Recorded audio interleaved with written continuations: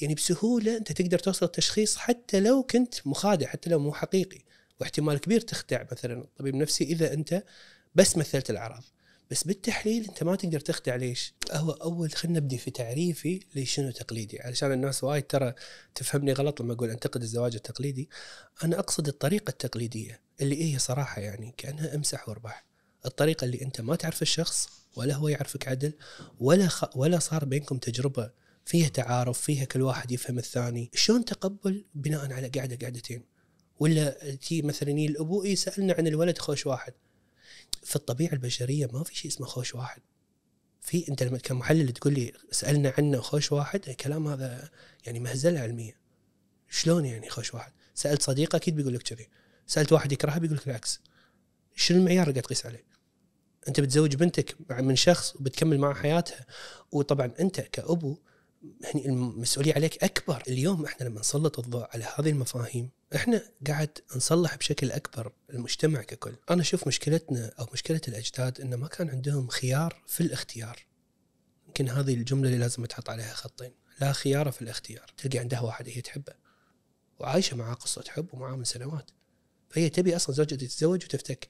الازدواجية هذه موجودة عندنا بشكل كبير ترى. مو يعني مو قصة قصتين. والرجال عالم الرجال عبالهم انهم متعددين بس. وعالم النساء الحين صار كذي. أنا أشوف أكثر الناس تم تشويههم في مجتمعنا هم الرجال. طفولتهم.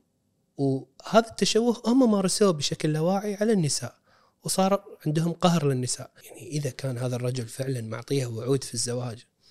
وآخر شيء بعد ثلاث سنين انسحب وبعد شهر شهرين تزوج أنا ما اعده مع الرجال اعده عقد الطفل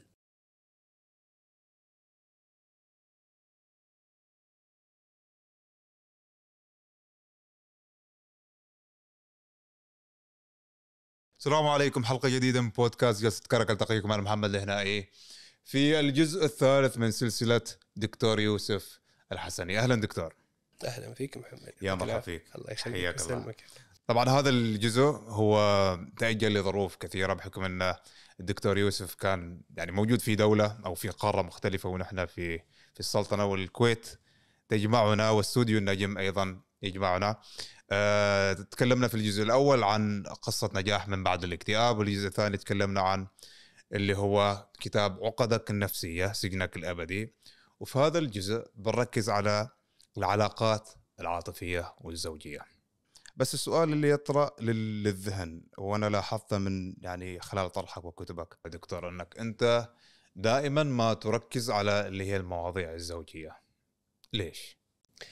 شوف لو نبديها من البداية محمد تذكر من حواراتنا الأولى والثانية إحنا دخلنا في موضوع عقدك النفسية سجنك الأبدي كعنوان. وقلت لك أنا موضوع العقد النفسية بالأساس كان شادني وبحثت فيه وتبحرت فيه لأن كنت أبي أعرف وين الإنسان يقدر يكتشف عقده. أو شنو هي البوابات اللي توصلك ان تعرف إن أنت عندك العقدة الفلانية. طبعا هذا من هم تجربتي الذاتية شلون إن أنا بعرف شنو مريت فيه اللي عشته من بعد الاكتئاب. اكتشفت نفس ما قلت لك إن الاكتئاب ما كان هو مصدره إنه هو مرض نفسي لأن أنا يعني عانيت منه أو صار في خلل مفاجئ في النواقل العصبية وفجأة حاشني اكتئاب. لا كان في عقد نفسية فيني أنا وفي الجميع موجودة لكن ما كنت واعي إن هذه العقد موجودة. زين شنو أكثر مكان وأنا أبحث اكتشفت إنه يظهر العقد النفسية أو تكون جلية وواضحه وتكشف الإنسان. العلاقات العاطفية بشكل عام أنا أشمل فيها العلاقات الزوجية تكشف عقد الإنسان. شلون تكشف عقد الإنسان؟ خلينا نرجع شوي للماضي، خلينا ناخذ أي قصة بسيطة إحنا الفرد فينا إحنا في المجتمع العربي بشكل عام تنولد وأنت صغير طريقة تعامل أمك أبوك أسلوبهم في تنشئتك يلعب دور كبير في تكوين عقدة. مثلا طبعا مو بس أسلوبهم معاك أسلوبهم حتى مع بعض. يعني أبوك مثلا كان دائما كل ما تيجي تقول له يبا أنا تضايقت يبا أنا تألمت انزعجت يقول لك ما عندي وقت مو فاضي لك. لا تزعجني لا تعور لي راسي. تبدي أنت تبدي تحس أن أنا مشاعري قاعد تسخف. تروح حق أمك أي مكان بتطلع تسلط. مثلا التسلط يكون مثلا إنه ممنوع ما يصير ما عندنا هالأماكن تقدر تروح لها سواء أنت رجل أو بنت. زين هذه الأمور كلها تزرع داخلك مثلا الأم ممكن عقدة التسلط أو أسلوب التسلط تصنع فيك خضوع الأبو يصنع فيك عدم قدرة على التعبير لأنك قاعد تسخف.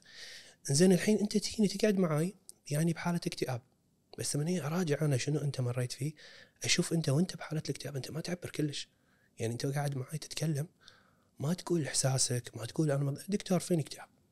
شلون اكتئاب؟ والله يعني قالوا لي شخصوني أطباء أنا في اكتئاب وقالوا لي أخذ الحبة الفلانية.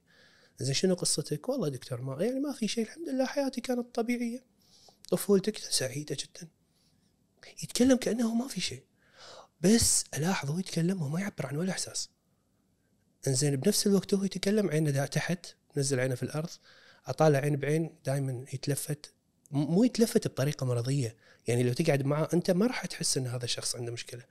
إنسان طبيعي بس عينه كذي دائما ينزل عينه يطالع ينزل عينه هذه ملاحظاتي. أتكلم معاه زيادة يقول لي اي والله أنا إذا أحد تواجه معي لا دكتور أخاف. أنا ما أواجه كلش يعني موضوع المواجهة هذا له مصابي أكبر رأسي أنا دائما أكبر رأسي. وأعامل الناس بأخلاقي. أقول له شلون أخلاقك يعني؟ يعني ما ترد إذا واحد تطاول عليك بالديوانية ضحكوا عليك. اي اي لا ربي حاسبهم طبعا هو يقول هالكلام وهو مو مستوعب إن هذه نتاج عقدة. زين هذا الكلام اللي الحين قاعد أتناقش فيه معه. وين وين أنا أول بوابة أكتشفه فيها؟ أقول له شلون علاقتك مع زوجتك? الحمد لله تمام. ما في شيء. دائما كذي ما يعبرون ما, ما في شيء كل شيء تمام. أقول له زين سولف لي مواقف. والله دكتور هي ما ترضى أنا أتأخر برا البيت وتتهاوش معاي. أقول له شلون تهاوش معاك؟ تسبني. وعادي يعني تدري يعني بنات أطوف لها. زين بعد والله طريقتها في التعامل بشكل عام ما تحترم حدودي كلش. ما في أصلا أنا أنا بالبيت يعني دائما أنا اللطيف أنا اللي راعي وهي اللي تتمادى. إنزين بعد عطني بعد يقول والله أنا هم حتى في الجانب الجنسي أنا أحاول أرضيها أرضيها أرضيها وأنا ما ما ما أسوي شيء أصلا حق نفسي. بس طول الوقت هي ناقمة نكدية سلبية تقط علي كلام وأنا أحاول أثبت لها نفسي أكثر وأكثر. أقول لها زين هذا الكلام ما صار قبل مع أمك لما كنت مثلا في الدراسة ولا مع ربعك تحاول دائما تثبت لها نفسك؟ أي والله حاكي دائما كذي. ولما تقول كلمة دائما انزل رأسي في الأرض وما رد.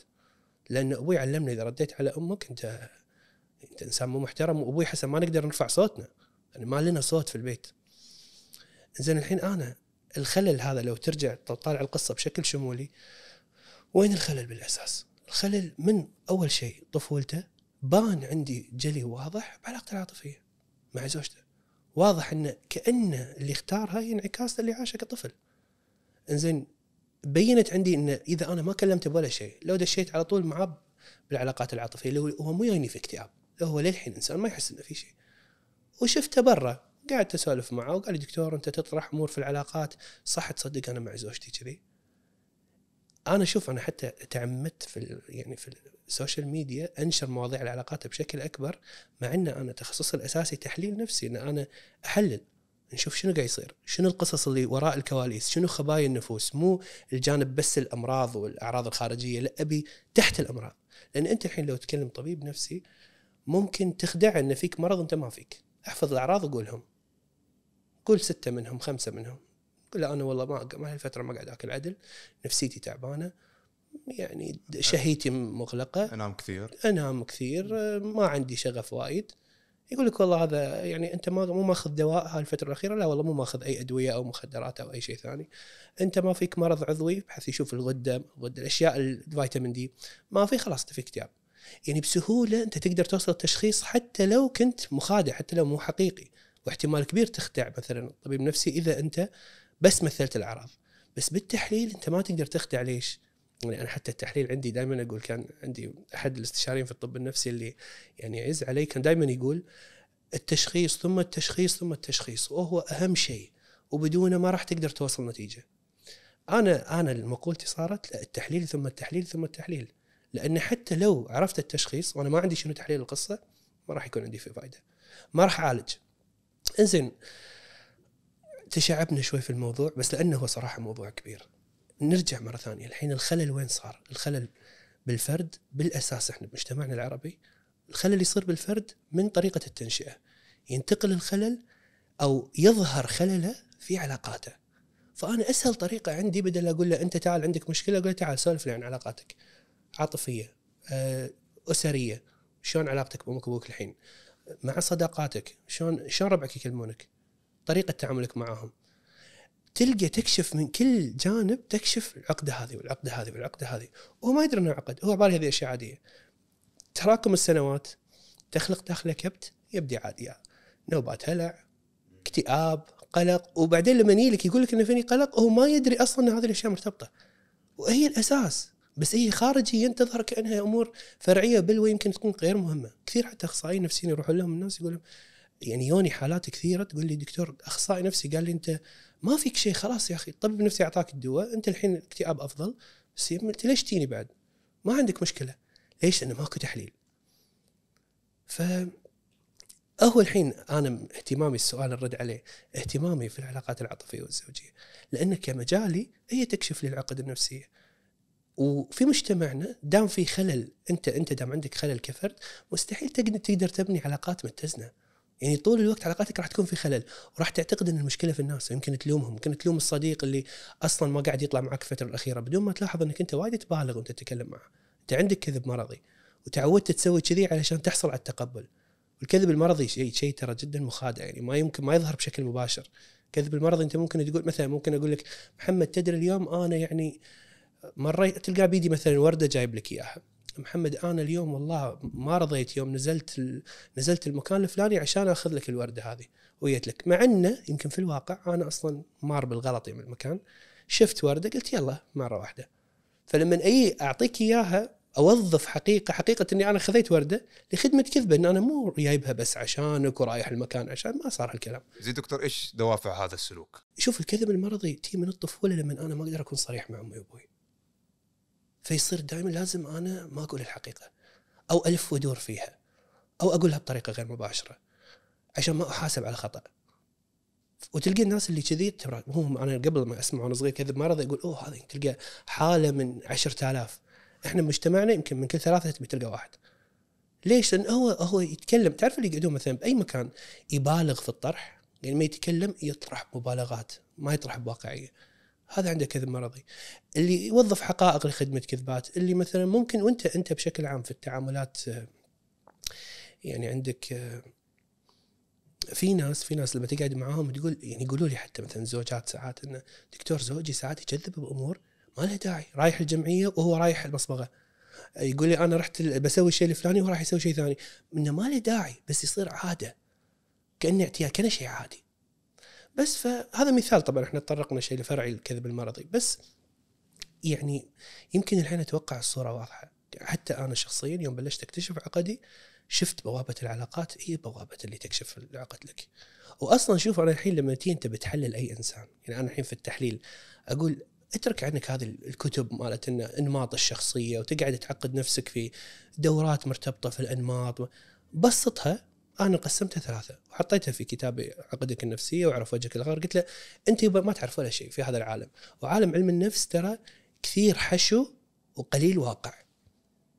يعني قليل منه جدا اللي أنت فعلا تشوفه realistic وممكن يطبق مع الناس. ممكن أنا هي اكلمك كمحمد وأقول لك ترى ترى هذه الظاهرة معناتها كذي. نفس ما قست لك تو على الكذب المرضي.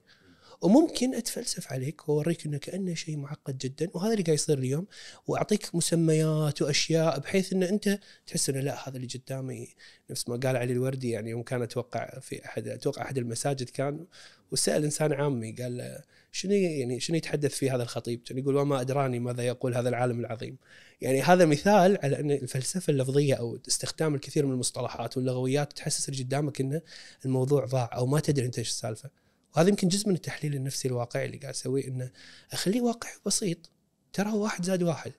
أنت بتي تحللني مثلا أنا الحين قاعد مع محمد بحلله أول أول نقطة بركز هل هو سلبي لطيف ولا قوي زائف ولا هو بالمنتصف. طبعا أنا أطلقت هذه المسميات ليش؟ أنا سلبي لطيف هو الإنسان سلبي مراعي للآخر على حساب نفسه. لطيف ممكن تكون أنت شخصيتك لطيف كإنسان مراعي بشكل عام بس ما تكون سلبي تكون على حساب نفسك. فإما تميل إلى هذا الاتجاه أو تميل الاتجاه الثاني اللي هو القوة الزائفة اللي يمشي يتقمص دور الوقاحة والتمادي والسلطوية كأنه هو هذا مصدر لقيمته واستحقاقه ويشعر منه بالقوة. الناس كلها بالجانب الأول هذا تلقاهم هل يعني بين هذول الثلاثة. المتزن مثلا اليوم أنا صادفت يمكن الأخ عبد الله اليوم تشرفت معه سلمت عليه شلونك عبد الله؟ طريقة الكلام الأسلوب واضح في اتزان. ما تكلم بأسلوب القوي الزائف. اللي في تعالي في نظرة دونية في إنه كأنه ما يبي يكلمك ولا أسلوب السلبي اللطيف اللي مراعي بشكل مبالغ فيه وينزل راسه بالأرض ويا هلا والله. مو ما يدل على الضعف ولا يدل على القوة الزائفة يدل على الاتزان فهذا النمط رقم واحد. شوف شلون بشكل بسيط حلله. زين الشيء الثاني هل هو نرجسي ولا متعاطف؟ نرجسي يعني كلمة صارت تستخدم وايد في يعني في الميديا طريقة الناس تعقدت ما قامت تدري واللي عبال اضطراب نرجسي بشكل بسيط. كلنا نحتمل عندنا نسبة من النرجسية. كأطفال إحنا نولد لازم يكون في جانب كنزعة بقاء يحافظ علينا يكون في نوع من الأنانية عشان تحافظ على هذا الكائن. إنزين هذه النسبة قد ترتفع حسب التنشئة مالتك حسب الظروف اللي أنت تعيش فيها وتصير أكثر مصلحتي نفعي. تفكر في نفسك أول إلى درجة إنه مو فارق معك الطرف الثاني. ما عندك إحساس فيه كلش. الضمير يبدي يقل. يزيد التحايل. التحايل يعني اللف ودوران اخذ احتياجاتي. بنقول التحايل العاطفي معناته أنا راح ما أكون واضح في طلب حاجتي منك. ما راح أعطيك إياها بشكل مباشر. ممكن يوم أنا تأخرت قلت والله من الوالدة أنا تأخرت. ممكن يكون هذا تحايل عاطفي. لأن أدري إذا قلت حق محمد ومحمد إنسان لطيف إذا قلت له كذي راح يسكت وراح يقول خلاص أنا ما أقدر أقول شيء. بس أنا غلطان بكل الأحوال. فلازم أول ما جيت إي والله أنا أعتذر. اللي صار خطأ ما فيها. السبب صح هذا لكن مو معناته إن أنا ما أخطأت. الفكرة الفكرة كلها بموضوع التحايل جزء من شخصيات النرجسيين يسوونه بشكل تلقائي كأنه طبيعي. زين فكلمة نرجسي لو مبسطة بتكون هذه الأشياء. زين كل الناس فيها الأشياء بس كل ما تزيد النسبة عشان شي حتى لما أقول حق مراجع أقول لهم لا تجيني تقول هذا نرجسي فخلاص بهدأ ولا هذا نرجسي ما بتكلم معاه. طالع النسبة المئوية. هل هو نرجسيته مأثرة إلى درجة إنه قاعد يسيء لك؟ في إيذاء مباشر أنت مو قادر تتعامل معه الأنانية واصلة مرحلة إنه ماكو تعاطف ماكو إحساس فيك أي شيء تقول له هو مركز على نفسه فقط ولا لا هو قاعد يحاول هنا ممكن نطرح سؤال اللي هو كيف ممكن نقيس نسبة النرجسية؟ شفت المعطيات اللي تو قلتهم؟ نقيسهم على المواقف، أنا عندي إذا الإحساس بالضمير أو فكرة إني أنا أحس فيك أو أتضايق في وايد نرجسيين بس بنسب منخفضة يكون اي يحس فيني ضمير ما وده يسوي هالشيء. أه بس يسوي في النهاية. فلما تقعد معي يقول لك اي والله أنا ما ما حبيت بس يعني اضطريت. يحاول يبرر حق نفسه يعني. أه الإيذاء إن هل أنا بأذيك بشكل مباشر ولا لا؟ النرجسي ياذي بشكل مباشر مو فارق معه. النسبة إذا طافت ال 50 55 إذا أقل ممكن يأذي بطريقة غير مباشرة وممكن مو مقصودة يمكن ما يكون وايد متعمد إنه يبي يعورك هذا الفرق يعني هي هي شوف هي تعتمد على الحالة بس أنت تطالع هوليستيك يعني تشوف الشخص بشكل شمولي عشان تعرف. زين أنا الحين عندي لو نبسطها كذي بيصير أنت لما تطالع أي أحد تقعد معاه بتقول هذا نرجسي ولا متعاطف؟ يعني التعاطف معناته أنت تحس فيني تقدر. من داخل عندك عندك جانب إنك ودك تساعد. يعني بنقولها بالعربي الفصيح طاقتك خير. إن أنت إنسان فعلا من داخل عندك وايد آه، استشعار بالناس عندك إنسانية. طبعا هم بنسب فكلنا تلقى نسبة كذي ونسبة كذي. عشان كذا لما أحد يقول نرجسي نرجسي نرجسي أقول لا أنت قاعد وايد تعممها. يعني خلاص أنت أنا سويت معك سلوك واحد اليوم. عادي أنت إذا قاري كتاب وتقول ها هذا كنا تحايل عاطفي معناته هذا نرجسي. خلاص انتهى الموضوع. ومو كذي الموضوع. لا أنت لازم تقيس وايد سلوكيات وتبي تدرس أبعادها وتشوف هل فعلا تعكس هالشيء أو لا. زين دكتور إيش علاقة النرجسية بالكذب؟ شوف هي لها علاقة شوف إذا انت تكون نرجسي أناني معناته الكذب عندك دائما يبرر أو نسميها compartmentalization اللي هو تصنيف مريح للكذبة. يعني اليوم أنا قلت لك مثلا كذبت عليك وأنا مو رايح حق أمي. تصنيف المريح شنو؟ اني يعني علشان بعد أطلع نفسي من الموقف. يعني خلاص أنا يمكن بعد كان أنا صدق تأخرت عليه وأبي عذر مشي الموضوع بعدين ما راح ما صار شيء خير يعني تصنفتها بشكل مريح. فأنت تقدر وايد تصنف كذبات في بعض الأحيان أنت تضطر يعني في لقطات معينة مثلا مع زوجتك مع أختك مع ممكن صدق أنت ما ودك تجرح الشخص. يعني أنا عندي الأخلاق وايد نسبية في الموضوع هذا يعني يعتمد على حسب الحدث. مو مو بشكل مطلق خلاص أنا لازم أقول دائما الصدق. مثلا أمي مسوية وجبة اليوم وأنا الوجبة هذه مو وايد حبيتها. إذا بكون صادق مع شعوري بقول لها بشكل مباشر ما ما حبيتها. بس لما بطالع الموقف بشكل شمولي يعني هي قايمة من الصبح وتسوي وتجهز عشان زاد الملح شوي بقول لها لا والله ما عجبني. يعني ما له داعي. ممكن أقول لها تسلم إيدك والله الأكل هذا ماكو ألذ منه وآكله وخلاص أعديها. بس على حسب الموقف يعني هذا مو كل يوم راح يصير بس بشكل عام ال point واضحة. زين نرجع الحين هذا هذه البنت البنت ممكن نفس ما قلنا تو يوم حللنا النرجسية. النرجسية عالية ممكن يكون عندها جانب psychopathic psychopathy. psychopathy يكون أكثر عديم الإحساس صفر. يعني ما يحس بأي نوع من الشعور. فهو يقدر يطالعك يمثل شعور ويكذب عليك فيه. وهذه أحد صور الكذب المرضي إني أنا أمثل مشاعر وأكون صادق بكذبي. هي هو فعلا الكذب المرضي على الأجهزة ما ينصادون. لما يحط حطهم على أجهزة الكذب ما حد يقدر ما ما يرمش عينه. ما حتى دقة قلبه تزيد. ليش؟ لأنه هو فعلا من داخل يصدق في الكذب يعيشها يعيشها معك للآخر. طبعا شوف هو الكذب المرضي تظهر الظاهره هذه موجودة وايد في الناس أو الشباب. الحين راح نتطرق لشباب أو بنات بشكل عام الجانب الأخير بالتحليل. إحنا قلنا الحين تحليل رقم واحد أنت ما تصادفت الحين أنا مثلا عبد الله التحليل رقم واحد قلنا إن اتزان هو لا سلبي لطيف ولا قوي زائف. التحليل رقم اثنين هو يميل للتعاطف في طريقة تعامله. لكن طبعا المواقف تكشف الإنسان. الحين ما تعاملت معه كثير. هذه امبريشن أول أو انطباع أول.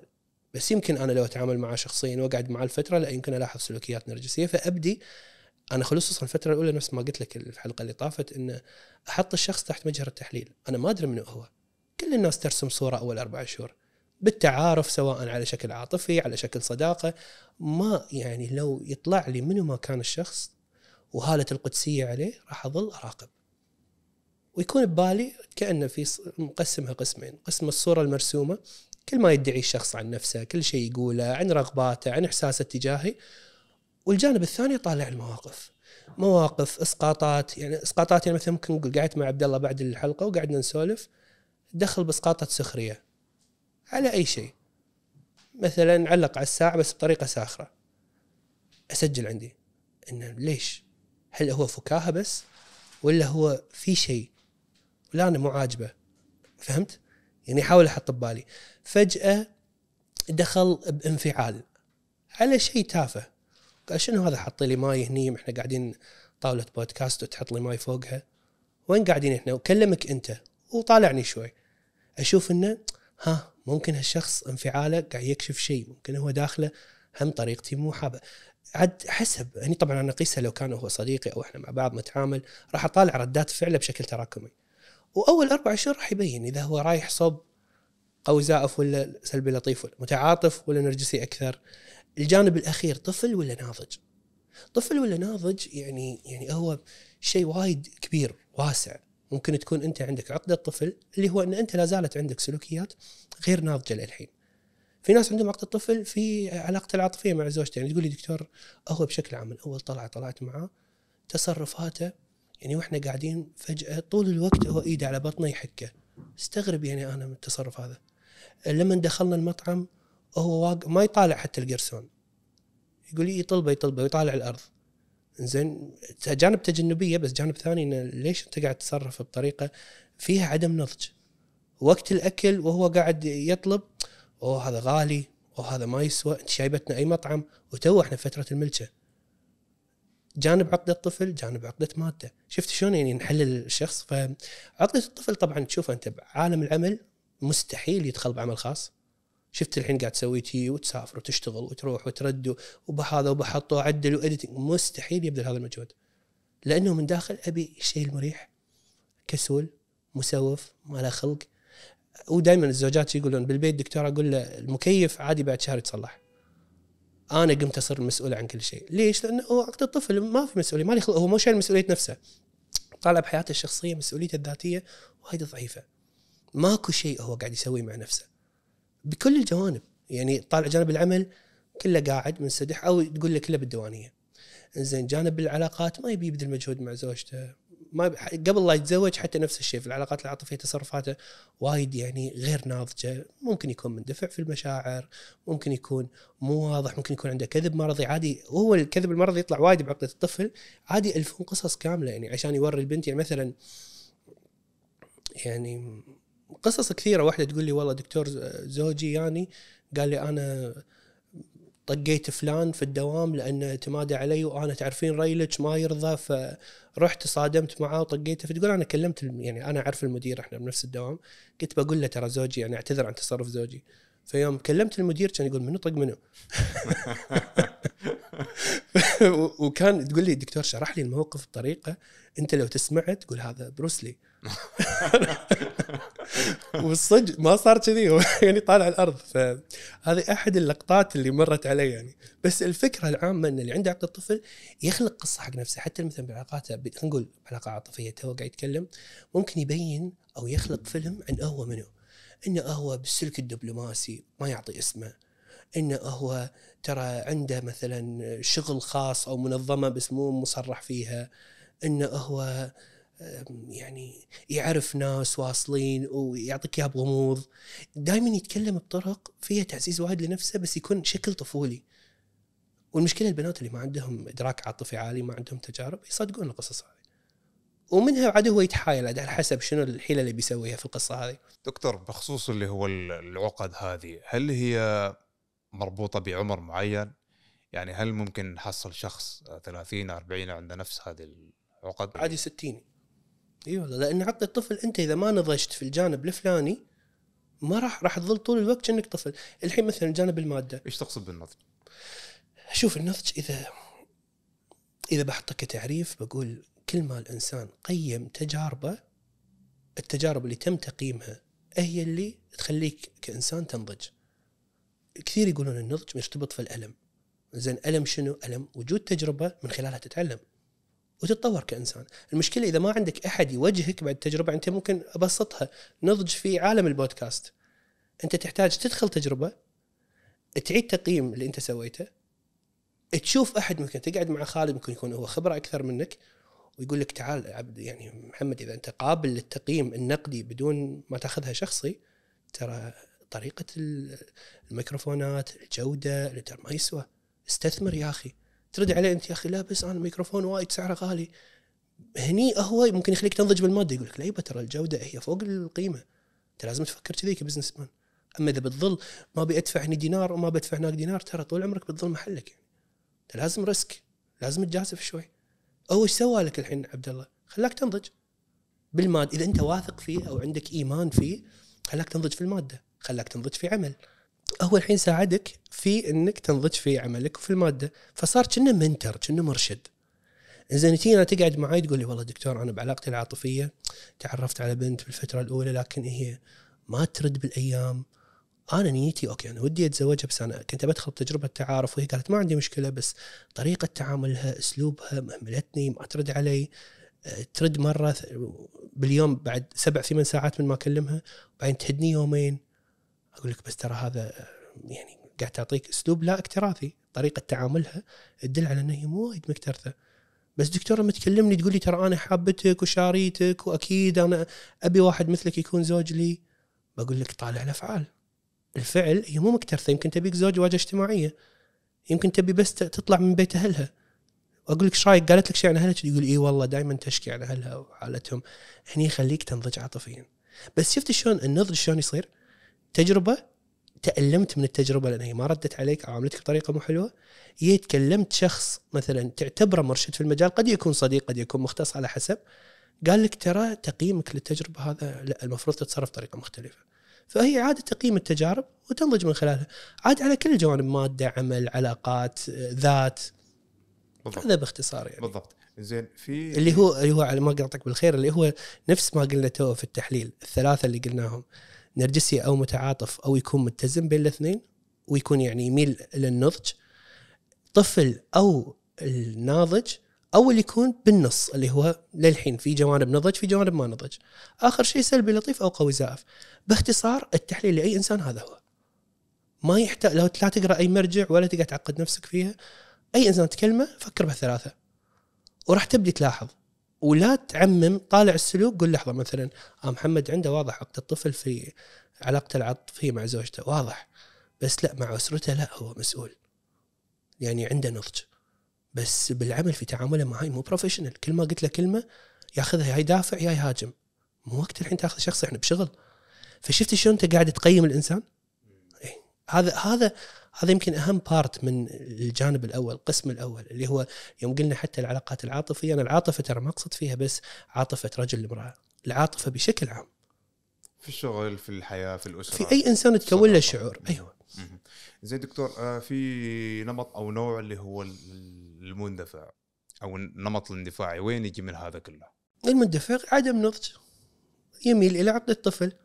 إذا كان هو عاد خبير عنده تجارب اللي يسمونه لعوب لا هذا يكون يندفع بتعمد. أنا قسمته حتى في كتاب عقدك النفسية سجنك الأبدي قسمت الاندفاع في الشعور لأنواع. لأن هو الاندفاع ترى كمفهوم في المجتمع العربي ما حد يعني ما حد دخل فيه ما حد شرحه. فيوم جيت شرحته في أول يمكن قبل كم سنة في كتاب عقدك النفسية قعدت أشرحه وأفصله بطريقة لأن شفت يعني كثير ناس بعد ما طرحته يأخذون المفهوم يقولونه بس يقولونه ويحطون كلام خطأ بعده. لأنهم مو فاهمين أصلا بعد المفهوم.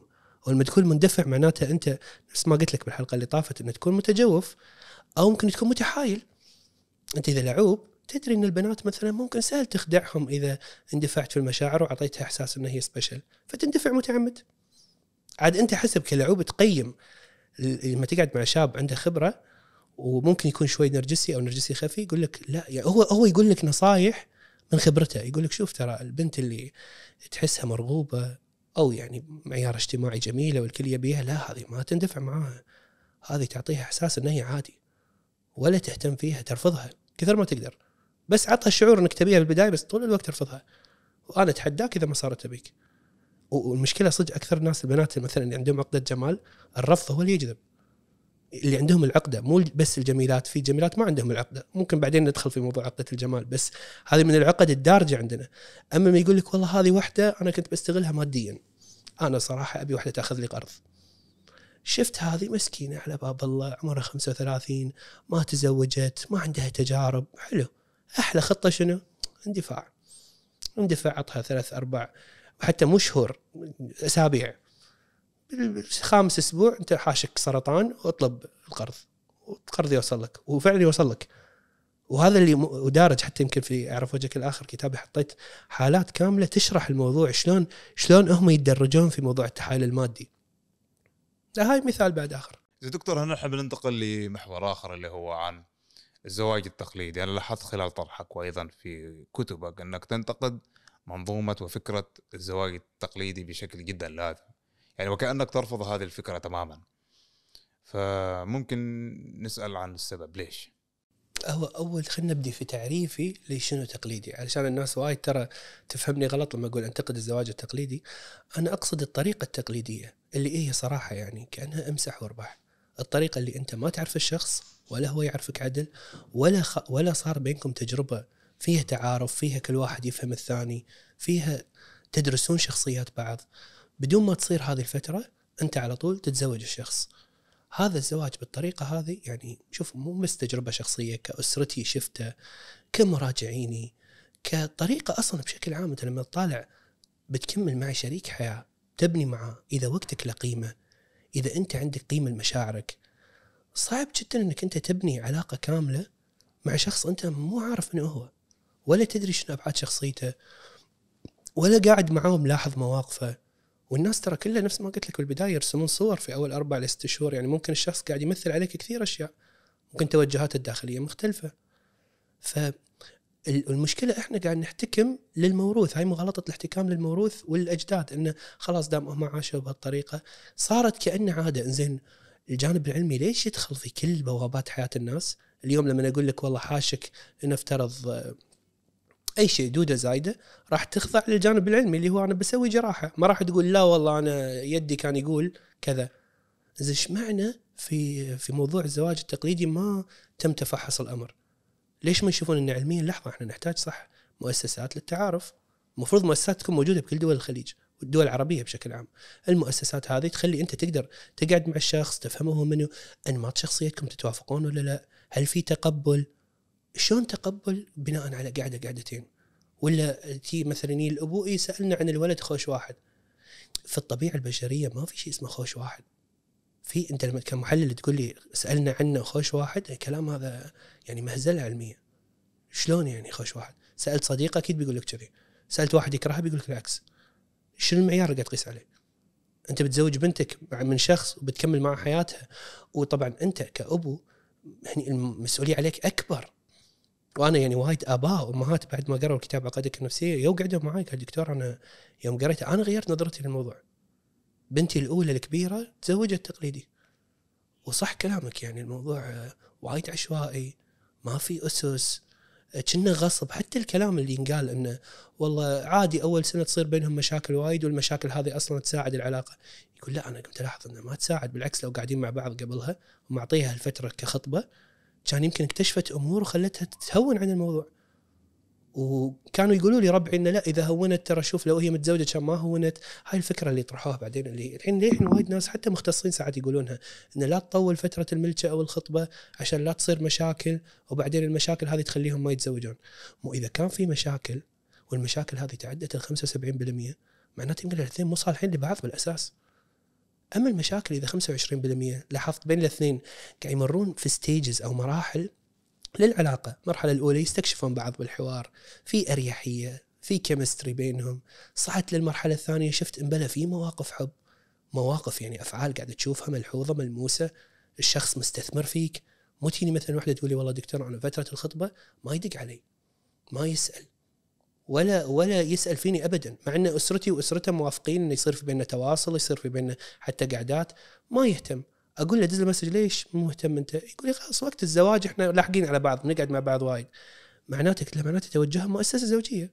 مؤسسة يبي بس إن أنت تكونين ماشية تحت إطار المؤسسة. مو مو ماشي إن أنا بخلق معاك رابطة. رابطة معناته يكون في بيننا حوار. من الحوار هذا في نعرف اهتماماتنا المشتركة. نعرف شنو يعجبني ويعجبك يضايقك يضايقني. علشان نبني رابطة بيننا. وفي النهاية أنا اليوم ما راح أبني معاك رابطة لو مو معدي الحدث إني أنا تأخرت وما قلت لك أي شيء وكأنه ما صار حدث. لا أقول لك أنا أعتذر صار لي ظرف الفلاني هذا لا يبر لازم عشان أبني رابطة. وممكن أنت تقولي ممكن ترد علي تقولي أنا عذرتك. تقولي لا والله دكتور أنا فاهم وأقدر اعتذارك بس أنا هم تضايق ترى. أقول لك إياها صدق يعني. أنا ما أنا جاي ومجهز نفسي ومرتب أموري و... يعني ما يصير. أنا ما أحب. لو شنو الظرف يصير الا إذا كان جدا طارئ أتمنى إنه الشيء ما يتكرر. وممكن تعذرني على حسب عاد ردة فعلك بس لازم تقولي صدق. هذا هو الحوار اللي يبني. فالحين أقول أنا زواج تقليدي الأسس هذه مو موجودة. يعني هي عشوائية. حتى فترة التقبل يعني أنا أشوف شنو عيوبك شنو نواقصك شنو يعجبني فيك شنو ما يعجبني فيك. ما عندي هذه الفترة أني أنا أدرسك أدرس عاداتك تدرس عاداتي. نشوف هل نقدر نتقبل بعض من بعد حوار؟ فعشان كذي أنا أشوف نقدي له مبني على شيء موضوعي شيء علمي شيء حالات أشوفك اليوم الحين كم بنت جتني تطلقت لأنه والله يجيني زوجها يقول لها دكتور غشوني أهلها. شلون غشوك يعني؟ والله ما قالوا لي مسوي تكميم. زين الحين أنا هل الحين بطالع هو أنا يمكن ما أقدر ألومه. لأن هو بالنسبة لي أنا أنت قايل دكتور في الكتاب تقبل الشكل معيار أساسي شلون ما يقولوا لي؟ زين الحين البنت هذه شلون بتكمل حياتها؟ تخيل واحد مطلقها غشيتوني. قايل لها كذي زين شلون شلون هي بتكمل شلون شنو الأفكار اللي راح تكون ببالها؟ ان أنا ولا شيء. زين لو قبلها قاعدين فترة تعارف كفاية قدر يتعرف عليها قدر يشوفها خلاص هو مو مضطر يتزوجها على طول شاف إنه ما عجبه يعني شكلها مو متقبله خلاص. من البداية أنت وقف. صار في فرصة حوار فطرحت الموضوع تناقشوا إي والله أنا سويت عملية مرة لأن في حوار. فطبيعي من خلاله راح تكتشف وايد أشياء. ما يصير انت تسوي skip على هذا ال part وتروح. فانا ترى هذا مشكلتي مع التقليدي مو مشكلتي والله إنه عادي يجيني الحين مثلا أي أحد. والله ياني مسلم قال لي والله بزوج بنتي تقليدي بس والله بخلي الخطبة فترة عشان يصير في مجال. وبعدين والله دكتور بنتي اللي راح توهق. أشوف بنات اليوم أول ما يطلقون البنت يسمونها مطلقة. البنت اللي كنا صلاحيتها مع إن هذه أشياء خاطئة لكن موجودة. كنا صلاحيتها قلت. كنا إنه ما راح يتزوجها أحد ثاني. كنا المسألة صعبت في حياتها على حالتها هي. لكن أنا كرجل ما كنت واحد يقول أنت مطلق وكأن في تصنيف. ما في تصنيف. فعادي مو فارق معي. بس أخسر مادة يعني. المهر صراحة في شباب مساكين يجمعون سنوات عشان يتزوج واحدة ما يعرفها عدل. وبعدين بيطلق يلا تلعب بنات الناس عطنا حتى المؤخر. وهو مو بيلعب بنات الناس هو ما عنده كان عنده فرصة حتى يتعرف عليها. ويوم تعرف يا أخي ما في مشكلة بس حس ما في توافق. ما ارتاح لها ما تعرف تسولف البنت ما عندها نفس التوجهات مالته. عاد على حسب. دكتور انت أنت مشكلتك مع الطريقة. مع الطريقة. أوكي. زي دكتور إيش الحل اللي تفترضه يعني؟ هل الزواج عن حب أم زواج شبه تقليدي أم إيش بالضبط؟ أنا أشوف يعني كلمة حب أنا أنا شخصيا أنا أحب الحب واحب فكرة فكرة الحب نفسها بس إذا كان حب حقيقي ناضج مو حب اللي الحين قاعد يصير. الحب اللي قاعد يصير الحين كلها تعلقات عاطفية. أي واحد يدرس التعلقات ويفهم العقد النفسيه يدري إن كل الجاذبية اللي عندنا قاعد تشتغل هي جاذبية مو سوية جاذبية مبنية على عقد. فيعني إنس واحدة من جذبه حق واحد بس لأنه هو حرك فيها مثلا مثلا هو متعاطف بشكل مفرط وهي نرجسية ومتلاعبة وتتصرف كطفل. فهو أصلا ينجذب لها لأنه هو عنده تعاطف ومسؤولية مفرطة ويعاملها كأنه طفلته. بس بالصج بالصج هو ما عنده ما عنده جاذبية حقيقية لأنها ناضجة. ولا واحد واحد ثاني ينجذب حق واحدة لأن هي متمادية وهو كان خاضع من طفل. هاي كلها تعلقات. يجون يقولون إيه إحنا نحب بعض. بس وين الحب في الموضوع؟ هو ما في حب. وين أقول وين المواقف؟ ما في مواقف وايد زين هل تحس صدق أنت وياها متوافقين من داخل؟ لا والله ما إحنا ما, مو وايد في توافق، ليش؟ والله تدري دكتور الحب من الله ما نعرف شيء غير مفهوم، ما أعرف ليش عندي هالشعور، أنا بس يقول لي ما أعرف ليش عندي هالشعور، الشعور نابع من عقده. لو تبحث مع نفس ما قلنا بالسؤال الأول إنه تبحث في عقد النفسية ويفهمها ويحلها الجاذبيه تختفي.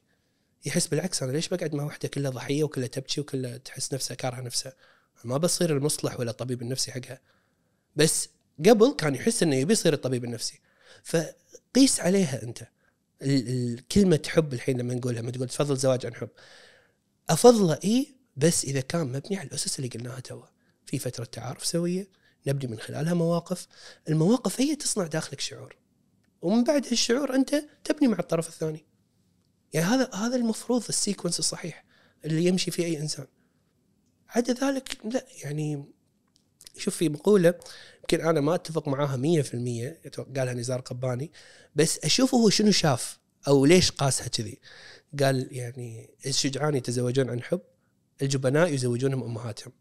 إذا واحد سمعها بشكل عام يقول هذا تعميم خاطئ شنو هذا؟ يعني وايد ناس وايد رجال وشجعان فعلا وتزوجوا عن زواج تقليدي. انت من أي ناحية تشوف؟ زين أنا أشوف إنه صح هو هو بس هو مو قصده كذي. هو قصده إذا أنت كرجل بشكل عام لما تنضج تلقائي راح يصير فيك ستاندرد مالك يرتفع للاختيار. ما راح تختار أي أحد. ولما تختار لازم تدرس الشخص اللي قدامك ولازم تفهمه هو منه ولازم تفهم أبعاد شخصيته. طبعا أيام نزار كان الزواج التقليدي اللي هو يمكن حتى ما يشوفون بعض وإذا بيشوفون بعض مرة واحدة. فهو قصد انه أي رجل رجل ناضج ما راح يرضى يدخل في عملية مثل هذه. ما راح ي... وقته وحياته وروتينه وسيستمه يخليه مع إنسان هو ما عارفه منه راح يكون شجاع في إنه يدخل في تجربة التعارف عقبها. يبذل مجهود المواقف يدرس الطرف الثاني يشوف إذا يستاهل ولا ما يستاهل عشان يقدم عليه بخطوة أكبر. فهو شافه بشكل. أنا حطيته في الكتاب وايد ناس قالوا إيش دعوة مبالغات بس أنا من هالباب يعني.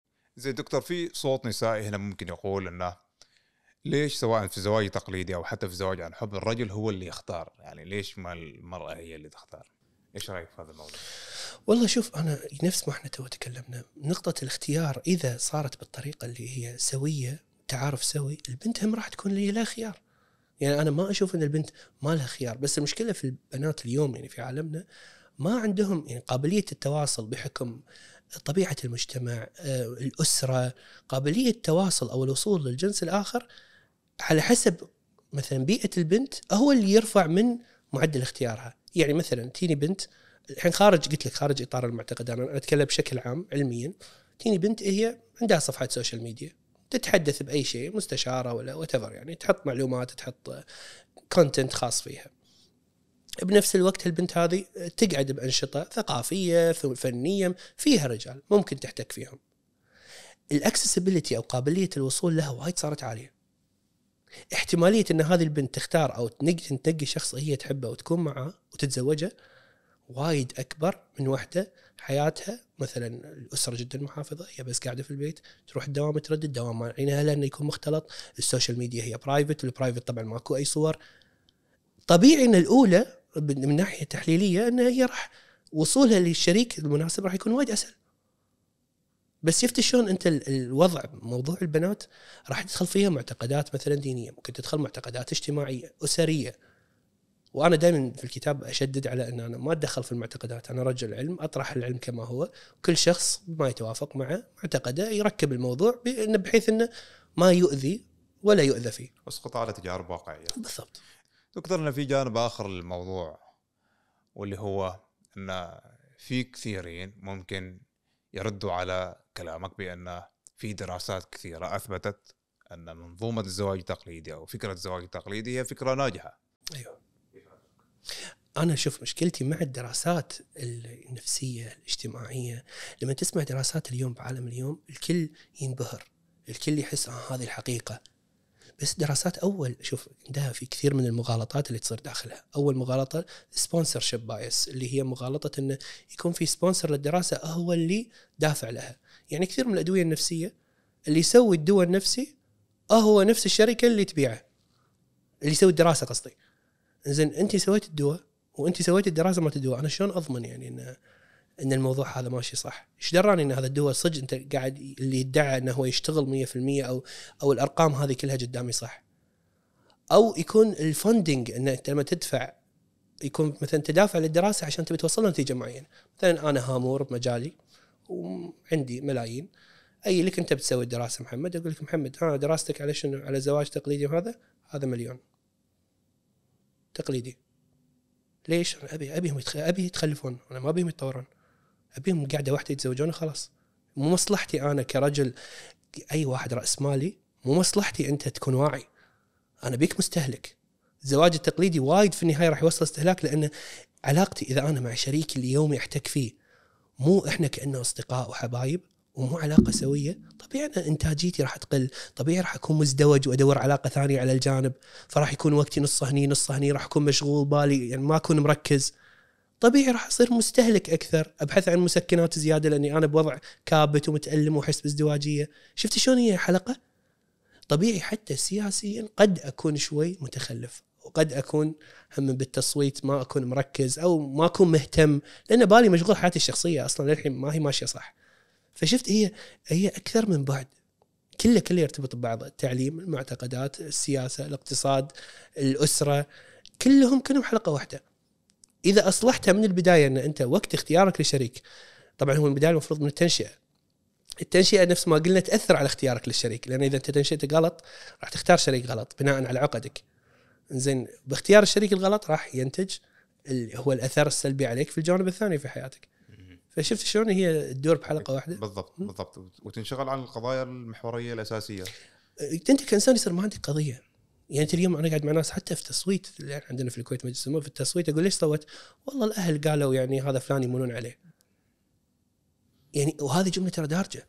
زين ليش؟ عشان يضبطنا هنا وهنا إي إي تفكير وايد self interest نفعي آه، قاصر ما في رؤية ولما يتكلم معاهم كذي يطالعون هذا قاعد قاعدين إحنا مدينة فاضله مو موجود هالكلام زين دكتور في في نقطة أنت ذكرتها بس بشكل عرضي بس بنرجع لها اللي هي مدة الخطوبة أو الفترة ما بين الخطوبة والزواج.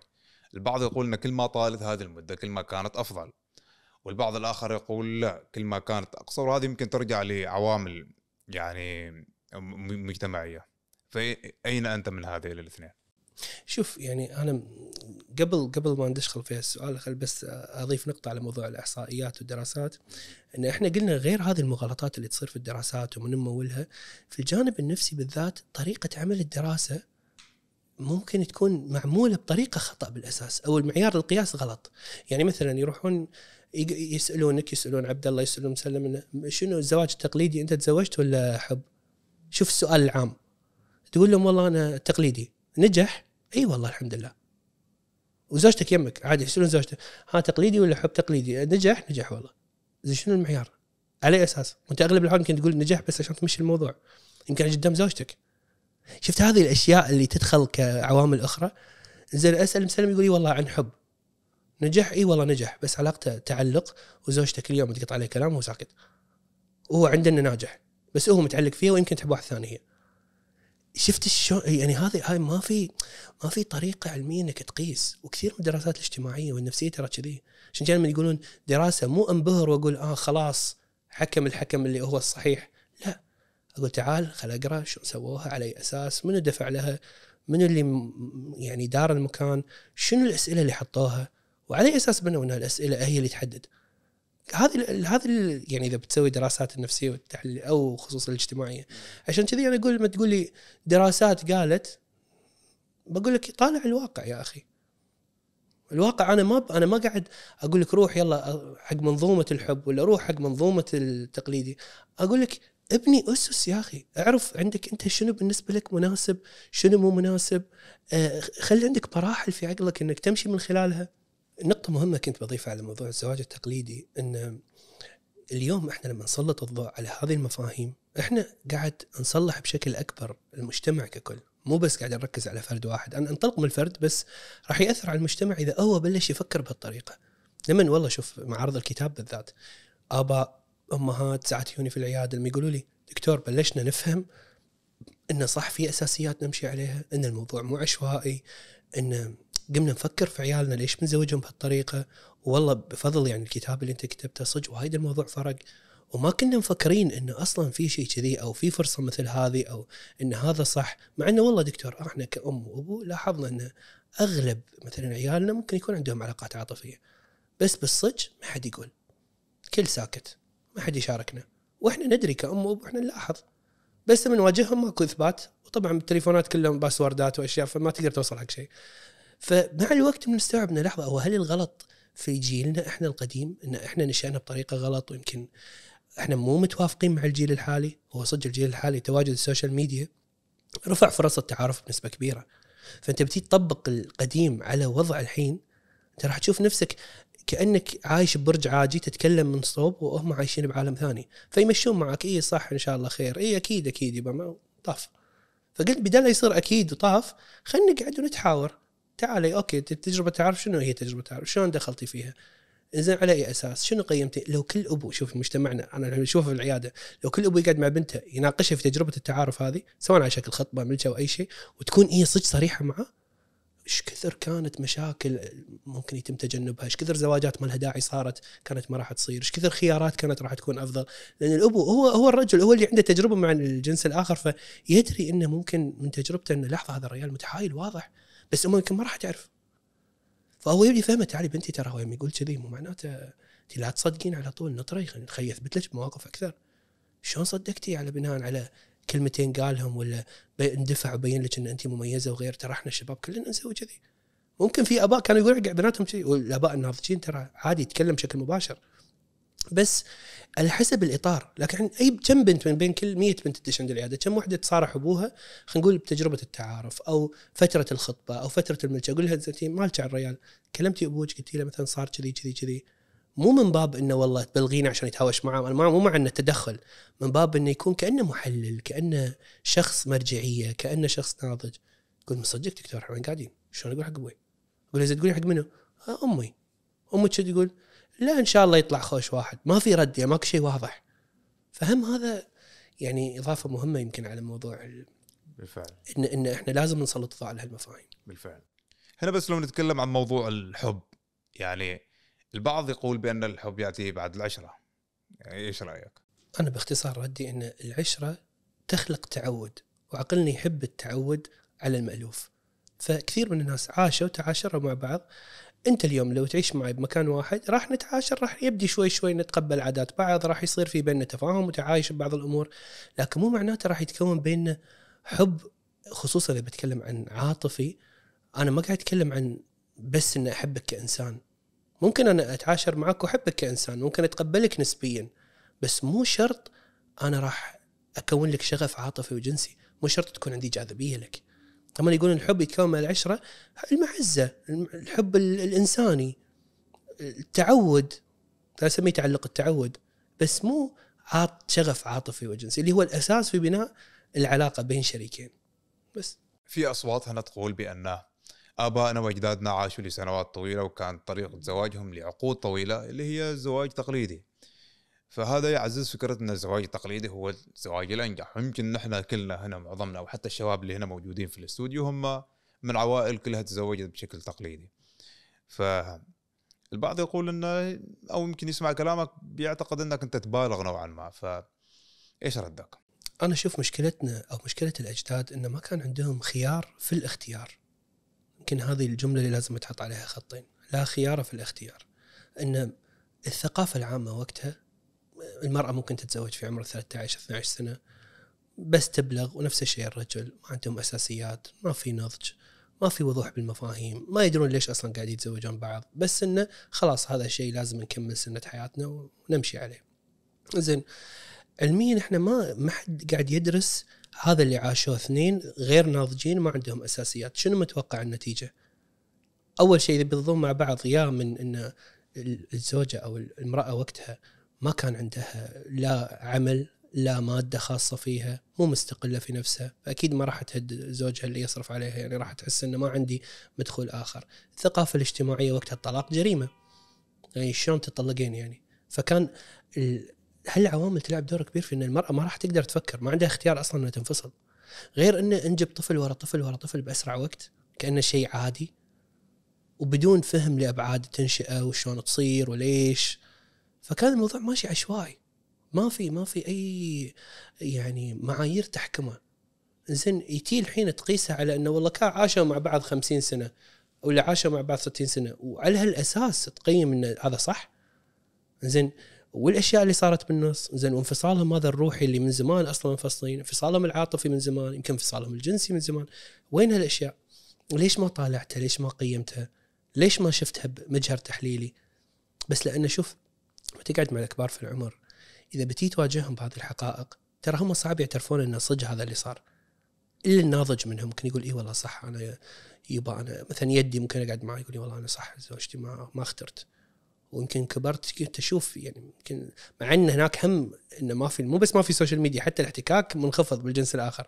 فيعني يعني إذا واحد حب واحدة يمكن يكتب فيها قصايد ولا يمكن هي الوحيدة اللي بالفريد شافها. يعني وضع وايد مختلف ثقافة غير. فما تقدر تيجي تقيس الحين بدون أي أي معيار علمي بدون إنك أنت تشوف التجربة مالتهم هل التجربة هذه نتج عنها شيء إيجابي؟ شنو نتج عنها؟ أنا أمسك مثلا الشباب الحين خصوصا اللي اعمارهم يعني من جيلي اللي هم منتصف الثلاثينات أو إلى آخر الثلاثينات وعلى الأربعينات تعال كلمهم عن علاقاتهم. أربعينات وفوق بعد كلمهم عن علاقاتهم. بالأم بالأبو شلون كانوا؟ عادي الأبو يضربه بأي شيء كل يوم. وهو يبرر الموضوع إنه اي بس أنا طلعت رجل من خلال هالشيء. نفس ما تناقشنا في الحلقة الأولى عن هالمفهوم. آه عادي الأم كانت دائما خاضعة وكلها ساكتة وماكو شخصية. ولدها هو أو بنتها هي اللي تدافع عنها. ولدها هو يتحكم فيها. يعني وضع عشوائي. فما اي اليوم أقيس عليه. ما أقدر أصلا أقيس عليه. لو لم ينجح الزواج التقليدي أو حتى الزواج عن حب هل تنصح بالطلاق؟ أنا أشوف اللي يشوفون حسابي يقولون دكتور أنت كأنك كل ما قلت شيء آخر شيء طرحت الطلاق أو الانفصال على الطاولة. كأن هذا عندك عادي. كأنك تشجع عليه. كأنك منحاز له. وايد ترى سمعتها. قلت لهم أنا شوفوا أنا أنا انحاز للإصلاح لكن إصلاح الفرد اولا ثم العلاقة. يعني حتى لما يجون اثنين مع بعض يقول والله إحنا بنقعد مع بعض ونناقشك يقول لا تعالي أنت بروحك خلينا نقعد كم قاعدة مع بعض وهي نفس الشيء. وبعد ما نقعد نتفاهم مع أتفاهم مع كل واحد فيهم افهم عقدهم من وين جايين على أي أساس ثقافاتهم الخاصة عاداتهم هني من خلاله أقدر أوصل مع الشخص أرضية مشتركة ومع الثاني وبعدين أخليهم يتكلموا مع بعض. فأنا أصلح الفرد أول. زين ممكن هي حق واحد أصلحه وأتناقش معاه نوصل نتيجة إنه تعال هو أصلا من بداية زواجه كان مختار زوجته غلط. وهو صدق ما يحبها. وهو كل اللي عاشه لأنه جاب منها بنتين أجبر نفسه وكان طول الوقت يحس بالذنب. وهو عنده حبيبة برا وحابها من زمان ومعاه ثلاث أربع سنوات.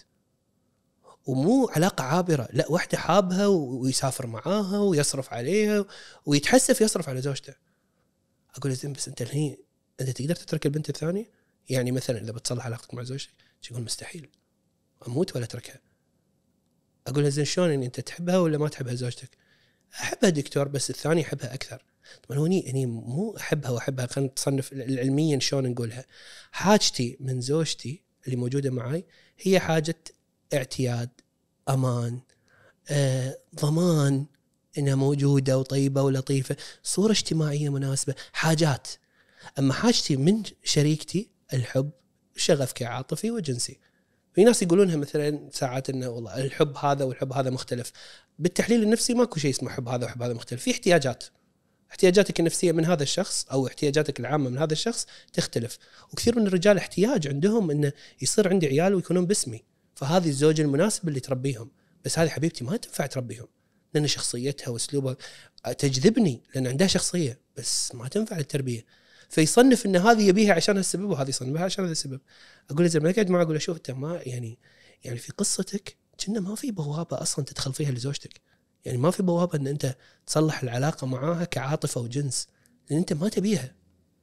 أنت أصلا حتى في مثلا يقول لي في العلاقة الحميمية والجنسية يقول أنا أتهرب وبالشهر تصير يعني دكتور مرة واحدة وبس إلزامية وأحاول أخلص بسرعة. بس عشان لا تقول لي إن أنت مقصر. بس أنا ما بيها ما ب...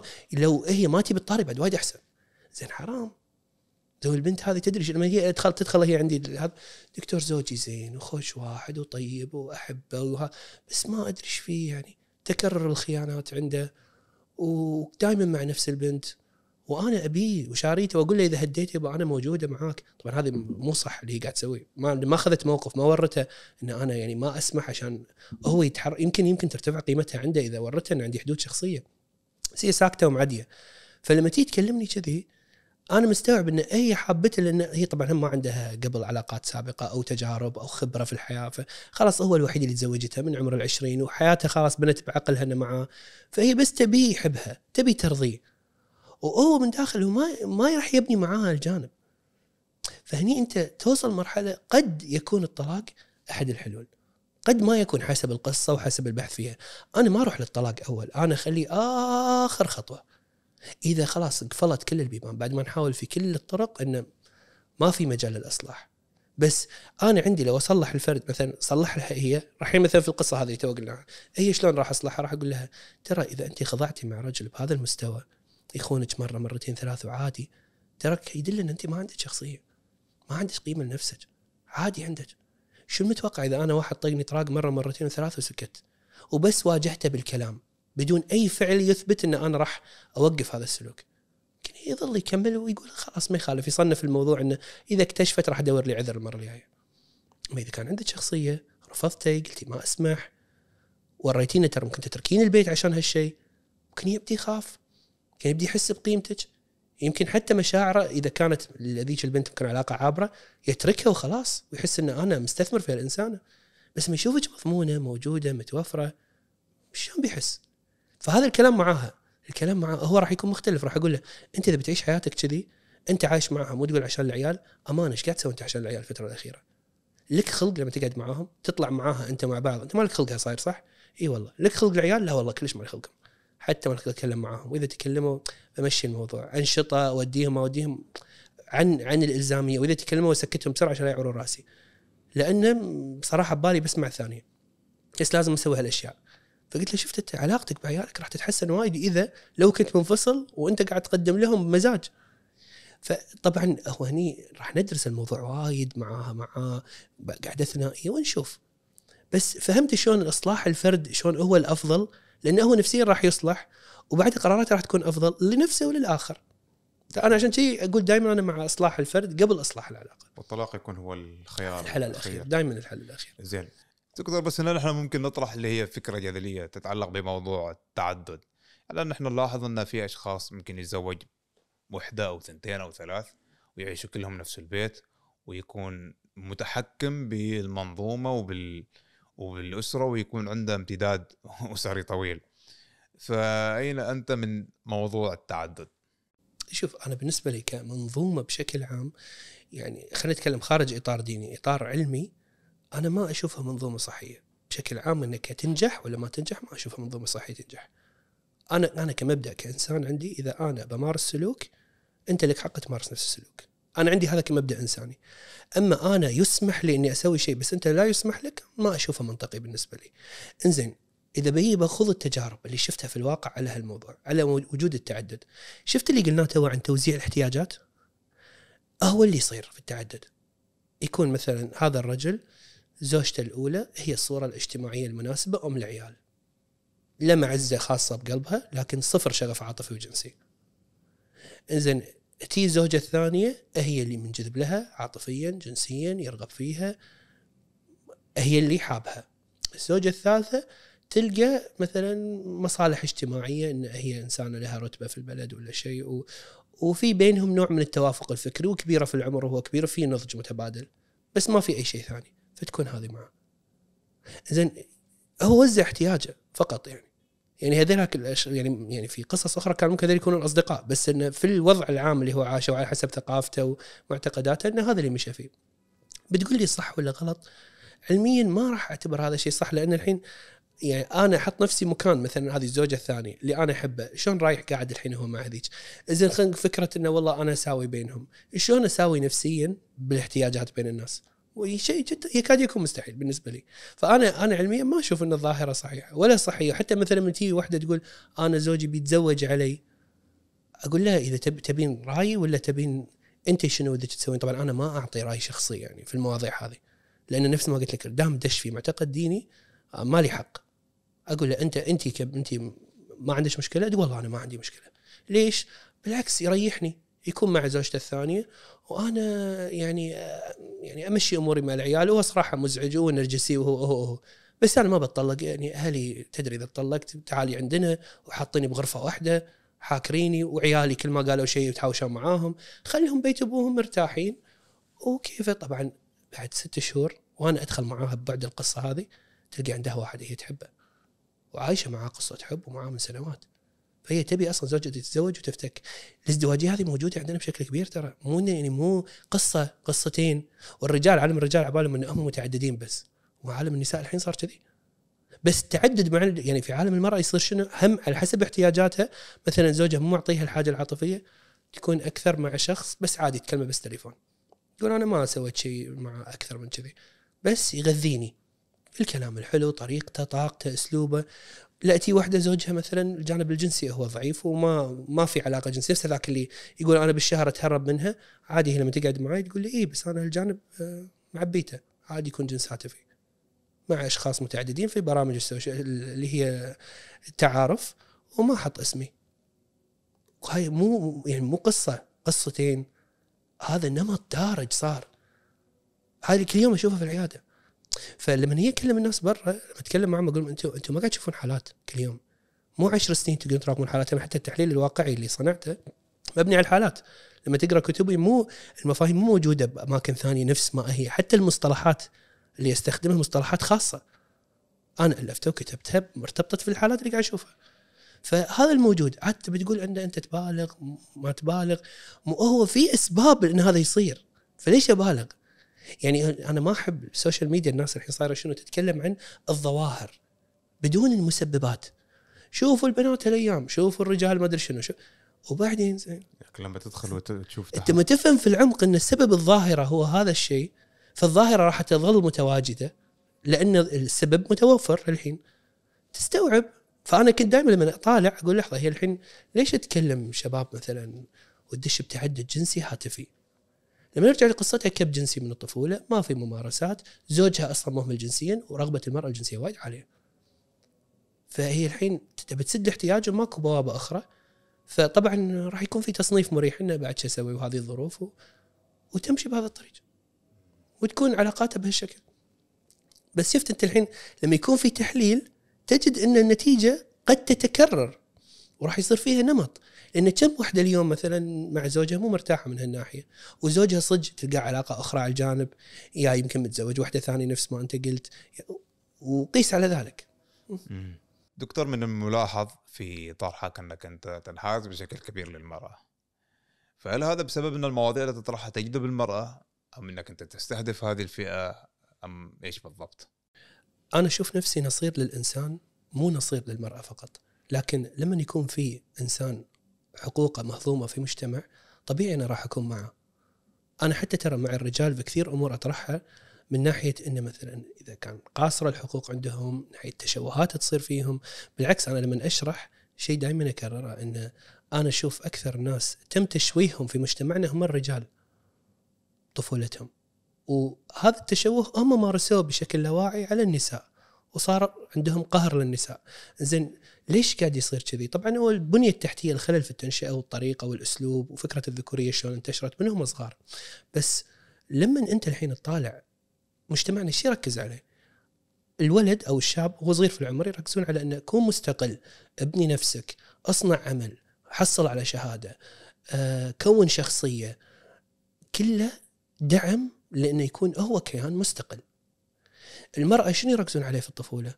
كوني حلوة عشان يتزوجونك اهتمي في البيت عشان يقولون عنك أنت خوش بنت وسنعة تهتمين قدام الناس وقدام الضيوف عشان بعدين يزوجونك. مو إلا تروحين تدرسين هالأشياء هذه السوالف حق الرجال دراستها. الطب راح يخلي ياخذ من وقتك وايد وأحسن لك تصيرين شيء ثاني غير الطب لأنه ما راح تقدرين تعطين وقت لزوجك ولا عيالك. الطلعات أنت ما تقدرين تطلعين أي وقت. قيود في الطلعة قيود في اللبس قيود في نمط الحياة قيود في الدراسة برا ولا تدرس ولا ما تدرس.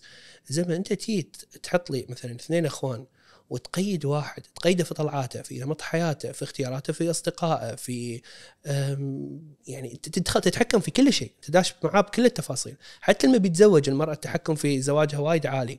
بشكل مباشر أو غير مباشر. أه وتقول لها أنت مو مستقلة لا أنت كنا فيك نقص أنت ناطرة هذا الزوج يجي عشان يكملك.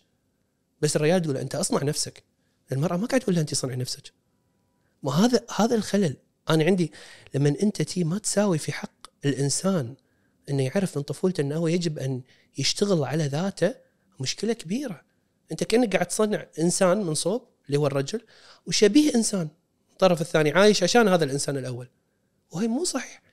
أنت لما تيجي تعطيها تكفل لها حقوقها تأسسها صح تقول لها أنت بالعكس حبيتي الرياضة okay مارسي الرياضة ليش لا؟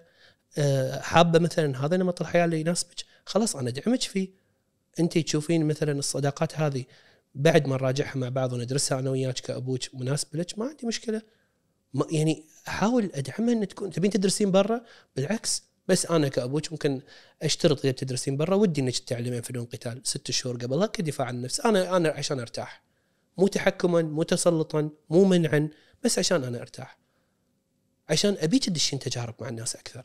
أبي تحتكين أبي تخالطينهم. أبي تعرفين عقول الرجال شلون صايرة. أبي تشوفين الدنيا برا شلون ماشية. أبي تخوضين تجارب. هذا يخليها في تقويمها النفسي مو نفس ما اليوم تكلمنا عن موضوع النضج. كل ما تزيد التجارب وتقييمها كل ما يزيد النضج. زين أنت في تأسيس الرجل قاعد تقول له دش تجارب؟ في تأسيس المرأة أنت ما قاعد تقول لها دش تجارب. اي بعدين لما يتزوجون اثنين مو متكافئين. راح تلقى واحد عنده تجربة عنده خبرة عنده رؤية عنده تحليل. واحدة صفر بالأشياء وما عندها خبرات وما عندها رؤية. زين هذه الوحدة هذه راح تصير أم. وهذه الأم راح تنشئ طفل وأنت اللي صاحب الخبرة بتقول لها ترى أنا بتنشئة مالي شغل. انت تشيلين موضوع التنشئة وهذا نمط الذكور اللي دارج عندنا إن الرجال كان ما له دور في التنشئة. وقلنا في حلقة سابقة أنا وياك انه دوره جوهري مو شيء عادي. زين لما تيجي تحط الدور بيد الانسانه اللي هي ما عندها خبرات ولا استقلالية ولا رؤية ولا مادة ولا أصلا حتى في عملها عارفة ليش اختارت هالأشياء وأنت محتجزها بهاي الظروف شنو متوقع هي راح تأسس ولدك عليه؟ ولا بنتك عليه؟ شنو المفاهيم اللي راح تطلع؟ هل راح تكون مفاهيم قوة؟ هل راح تكون صرامة حدود وعي معرفة للذات حوار في تطور ونضج؟ لا هذا الكلام ما راح يكون موجود. أنا هي مناضجة. شلون تحس الناس ناضجين شوف في فرق بين الاعتناء اللي الأمهات أو ربات المنازل كانوا يقدمونها قبل حق أطفالهم وبين التنشئة نفسية عاطفية روحية. تنشئة معناتها خذ معك حوارات. تنشئة مو مو إن أنا واكلك وأشربك. تكرم حتى الحيوانات تقدم هذا الشيء لأبنائها. مو تقليلا في هذا الشيء بالعكس ترى يعني أشوف الأمهات يتعبون بشكل كبير. لكن أنا لو أحط حاضنه في المنزل تقدم الاعتناء ترى غطت الدور أنا ما أحتاج أغسل الولد تقدر تغسل العاملة. مو ما راح يفرق كثير في بنيته النفسية. بس راح يفرق كثير لما يطيح موقف في المدرسة أحد يتعدى عليه مدرس ولا طالب ويجي حق أمه يقول لها يما أنا المدرسة صار لي كذي. وهو يأتمن في أمه. ترد عليه تقول له شلون هذا كلمك بهالطريقة؟ شلون تسكت أنت؟ ما يصير تسكت. شنو خفت منه؟ خفت والله يضربني عنده ربعة معاه. لا المفروض ما تخاف. ما توري أحد إنك ضعيف. باكر أنا رايح المدرسة معاك ونادي الولد ونادي أبوه. وأخليك قدامي تكلمه وتقول له أنت مو مسموح لك. تأسيس. الولد يحس إنه عنده ظهر. أمه قوية. أما لما يروح البيت حبيبي ما يخالف. يعني الواحد يلتمس العذر للناس. حرام الولد يمكن مو قصده. انت لا تشيل بقلبك هالأمور. يعني بلغ المدرس بعدين ولا بلغ المدير بس لا تسوي مشاكل. بعدين يطردونك ما تدري يسوي لك سالفة. شو يصير؟ هذا الولد طول السنة يدمرون عليه. شخصيته تضعف ويصير تجنبي ويمشي ويطالع الناس يتلفت. ما عنده قدرة على تعبير عن مشاعره. بدوانيه قاعد يضحكون عليه ساكت. شوف شلون تراكمت معه؟ بس لأن الأم ضعيفة صنعت طفل ضعيف. اخوه الثاني عاد إنه يكون شوي نرجسي أكثر. تلقاه ياخذ من ابوه الصفات النرجسية والقوة الزائفة. يبدي يتمادى على أمه يتحكم فيها يتهجم عليها وهي تخضع له. ليش؟ لأنه لا حول ولا قوة. شخصية مهزوزة من الأساس ضعيفة. زين أم ضعيفة طفل ضعيف مجتمع ضعيف. شفت شلون هي التراتبية؟ فالأم لازم تكون قوية. زين شلون ما راح تصير قوية؟ بالأساس أنت تقويمها النفسي مو مو معطيها حقوقها مو معطيها ال ال ال الطريق اللي من خلاله تنضج. مو سامح لها بالتجارب. شلون هي بتأسس لك ولد؟ شفت شلون الدائرة؟ طبعا نرد مرة ثانية على نفس الشيء اللي هو هالشيء راح يأثر على الجانب طب الولد في التعليم إنه راح يحس إنه أمه بس ساعات الامهات التقليديات بس يركزون على الدراسة. بدون ما يركزون ليش أنت قاعد تدرس هالأشياء؟ شنو المفيد وشنو المو مفيد؟ في اشياء ترى ما له معنى ولدي تركز عليها. الأم التقليدية لا ولدي إذا درجة عالية أنا راح أخذ استحقاق وقدام الناس بيقولون ولد فلانة ما شاء الله امتياز. فعقليتها تكون قاصرة ما تشوفنا لحظة ترى امتياز ولا امتياز اليوم إحنا عالم عالم الأعمال الحرة، عالم الشخصية. شلون اسس ولدي؟ شلون يكون عندي رؤية، خطة، شلون أكون صارمة معاه مو ولدي بس يطالعني يلومني على شيء خلاص أنا أضعف لا طالع عيني بعيني وأقول له لا أنت ما يصير تكلم أمك بهالطريقة وأشرح له ليش ان هالشيء غلط. يكون عندي مفهوم. مرة في أم شنو قالت لي؟ قالت لي دكتور أنا مع ولدي طالعين كان يقول لي يما غطي إيدك إيدك مبينة. وولدي عمره 12 سنة. وأنا عادي يعني هذا هذا لبسي من زمان يعني ما في شيء يعني بالنسبة لي. قلت له لو سمحت هذه حدود شخصية ومالك شغل. قلت لها بس انت أمها؟ تقول لي شنو يعني دكتورة تقول؟ تقول المفروض الأم تكون قوية وعندها حدود. قلت لها اي بس هو عمره 12 ما أدري شنو يعني حدود. ما كلمتي أنت ما شرحتي له المفهوم. ما قلتي له يما ترى اللبس ما يقلل من قيمة الشخص ولا يزيد من قيمته. اللبس شيء معتقد خاص بالانسان أنا كأمك أنا أشوف هذا شيء مناسب لي. هذا مالك حق أنت تتدخل فيه كما أنا مالي حق أتدخل في ملابسك. اللي هو واحد اثنين ثلاثة. كما قال أينشتاين إذا ما عرفت تشرح مفهوم كما أنك تكلم طفل عمره خمس سنوات معناته أنت مو واصل هالمفهوم أو مو مستوعبه. زين أنت أنت لازم تشرح بهالشكل. مو تي تحط له يعني النتيجة الرئيسية وأنا خلاص عندي حدود. وما راح يفهم.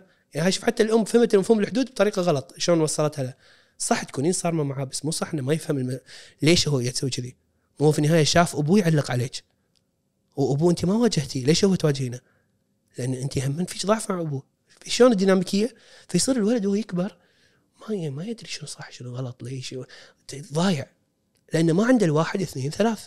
لما تيجي تكلم واحد اثنين ثلاث ترى العيال مو اغبياء يفهمون. راح يقول لك مثلا أنت تشوف تعلق على مثلا عزيز تقول له لبسك ولا دشداشتك قصيره ولا شيء. يرد عليك اذا إذا هو عنده أساسيات بيقول لك لحظة أول شيء رقم واحد هذا شيء خاص. ثاني شيء أنت مالك حق تتدخل في هالأمور. هو باني من طفولته إنه في 1 2 3 لكن إذا ما عنده أساسيات بيضحك ويمشي الموضوع يمكن. ممكن يضحك ويمشي هو عادي ويمكن يأخذها غشمرة. بس كم داخله كابت عليك. مو عاجبك وش في هذا؟ شو يتكلمني كذي؟ بس هو عنده عقدة خضوع. هو من طفولته ما كان يتكلم. فيخاف يتكلم معاك وتزعل عليه وتأخذها شخصي وتقطع علاقتك. فيحسبها. شفت شلون الحلقات ترتبط بعضها ببعض؟ جدا جدا. زي دكتور بنختم هذا المحور ب فممكن يكون سؤال مباشر اللي هو هل تواجه مشاكل مع زوجتك أو في زواجك؟ أكيد أكيد أنا ما أشوف انه في زواج متواجد بدون مشاكل بس أنا عندي المشاكل هذه نفس ما قلنا في البداية المفروض من الأساس ما تكون نسبتها تتعدى 25 30% مو مشاكل كثيرة لكن هي مشاكل موجودة. ثاني شيء كيفية التعامل شلون نتعامل مع المشكلة؟ يعني شلون نتصرف؟ في مقولة قالها الفيلسوف فرانز كافكا قال حق الفتاة اللي يحبها كان اسمها ميلينا وكتب فيها كتاب يمكن كامل. كان يقول أنت السكين التي أنبش بها ذاتي. والمقولة كانت مأثرة فيني حيل ليش؟ لأن تكلم عن بعد الحب الناضج. يعني أنا مع زوجتي أكثر يمكن أكثر إنسانة ساعدتني إن أنا أفهم نفسي من خلال التجربة معها. ليش؟ لأن كثير من المواقف تصير أنا مو فاهم هي ليش تتصرف بهالطريقة؟ وليش ردت فعلها كذي؟ مرة موقف بسيط أضحكك فيه جاية قالت لي أنا را... هي عندها صداع نصفي، أنا راسي يعورني، الصداع ذبحني. كان أقول لها خلاص الحين يجيب البروفين. تقول خلاص يا أخي أنا مو مريضة عندك روح عصبت بروفين وبنادول وهذا وسلبتي ما أنا ما أبي هالأشياء تعبت ترى أنا من هالشيء صدمه بالنسبة لي لأن أنا بالنسبة لي قالت الحين قالت مشكلة حل منطقي شو وين وين الغلط؟ ما في خلل في القصة بعدها يوم خلاص حاولت أحتويها أراضيها تعالي طبعا حتى في الاحتواء أي أقعد أبرر لا انت قلتي بنادول وأنا جبت لك انت قلتي راسي وأنا جبت لك شنو مزعلك؟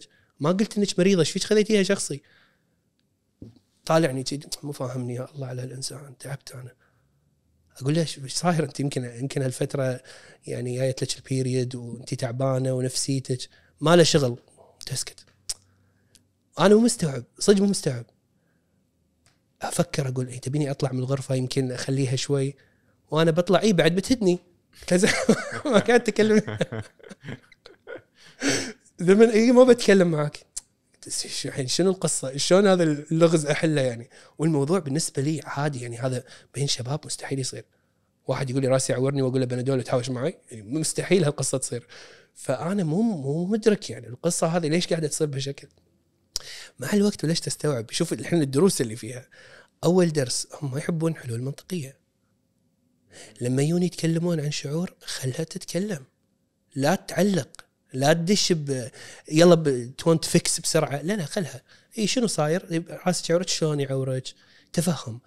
من متى؟ من بداية اليوم؟ زين إيش سويتي حقه؟ أث أكيد تعبك اليوم وايد. أشوف مبين عليك اليوم كنت كنا مالك خلق إي والله مبين علي. صح حسيت فيني. والله مبين كان لا يعني حتى شفتك على الغداء ما كليتي عدل معناه يمكن مو ملاحظ إنه ما أدخل الموضوع. تصنيف المريح اللي تكلمنا عنه فتقول لي اي والله زين لاحظت أنت أنا صدق تعبانة ونفسيتي شوية الظاهر هذا الصداع مأذيني. تعالي حبيبتي وألمها أحضنها ابوس راسها أنا معاك اتحاتين يبا راح يروح إن شاء الله. بعدين أقول إذا محتاجة شيء تبين شيء؟ تقول لي والله إذا عندك البروفين. مشيت الأمور كلها بس صح. ممكن لأن طبيعتك كرجل تخليك تعطي حلول منطقية. هو إحنا إحنا طبيعتنا أصلا حتى من تنشئتنا هو مو بس إن طبيعتنا كرجال أول شيء عدم وجود الهرمونات التنق يعني التقلبات الهرمونية بجسدنا وايد يساعد. يعني إحنا ترى التستوستيرون ثابت. التق... ما في التقلب اللي يصير بالإستروجين والبروجسترون مع النساء اللي صاعد نازل صاعد نازل. فهذا وايد يلعب دور. خصوصا نشوفه بالشباب اللي مثلا في النادي يأخذون هرمونات.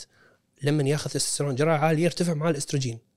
يروح فجأة. اذا ارتفع الاستروجين تلقاه يأثر على الجنس يأثر على نفسيته يأثر على طريقته. ولاحظ أن الحين اللاعب في نفسيته الاستروجين اللي هو هرمون نسائي. يروح ياخذ مضاد استروجين ينزل الاستروجين وايد يصير مكتئب متحبط. كأن الأعراض مالت الدورة. على حسب طبعا صعدته ونزلته. هني بلشت ألاحظ أنا لحظه هذا الاستروجين صدق يعني شيء كبير بتأثيره على الدماغ. وبلشت أدرس أنا حتى حاليا يعني في تحضيري لموضوع خاص ماجستير في طب الأعصاب والمخ. إن أدرس موضوع ال neuroprotective effect أو الحماية من وجود الأستروجين في الدماغ. موضوع شائك صراحة مو موضوع عادي يعني وله تأثير كبير. زين الحين لما نرجع القصة ال- اللي سويته معاها إني حق أي رجل بعدين لما كنت أشوفه بالجلسات يقول لي دكتور هديتها بالغرفة علشان ما أبي أضايقها. إحنا ساعات بعض الرجال ترى إحنا شيء يعني يعني شوف هي بس عشان نوضح. مو بس هرمونيا تنشئتنا تلعب دور. إحنا بتنشئتنا ما نعبر مو بتنشئتهم يعبرون عادي. إحنا التعبير عندنا عار عيب فشلة غلط ضعف. التعبير عندهم آه بالعكس قولي. البنت تبكي عادي البنت آه، متضايقة عادي البنت خايفة عادي البنت متألمه عادي. الرجال إذا حس بالأشياء مو رجل. فإحنا كنا بالأساس يا شيء برمجنا غلط انه وقت المشكلة مو المفروض أنا الحين مثلا زعلت عليك. مو المفروض عطني خمس ساعات بقعد شوية بعدين أتكلم معك. غلط لأن أصلا خمس ساعات هذه بتخليك طول الوقت متوتر وقلق ويلا وش فيه ويا رب يكلمني يا رب ما يزعل.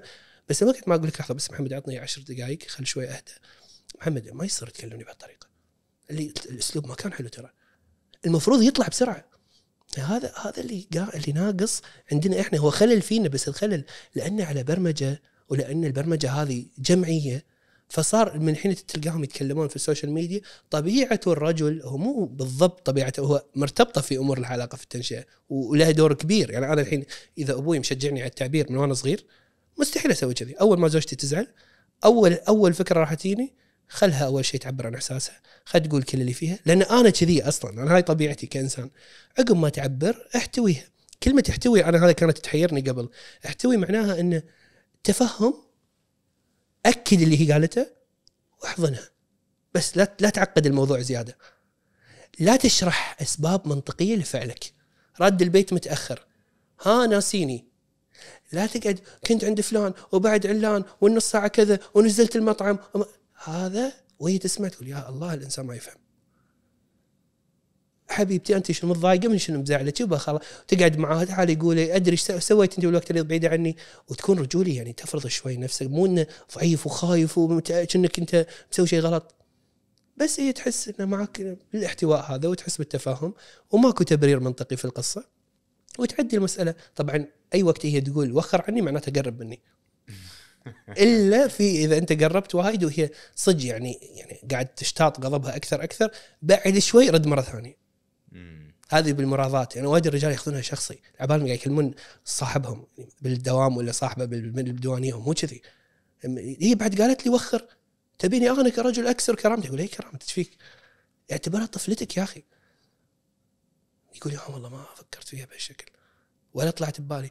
بس هي ما تقدر. يعني أنا الحين أسبوع كامل قاعد أسوي لها كل هذا.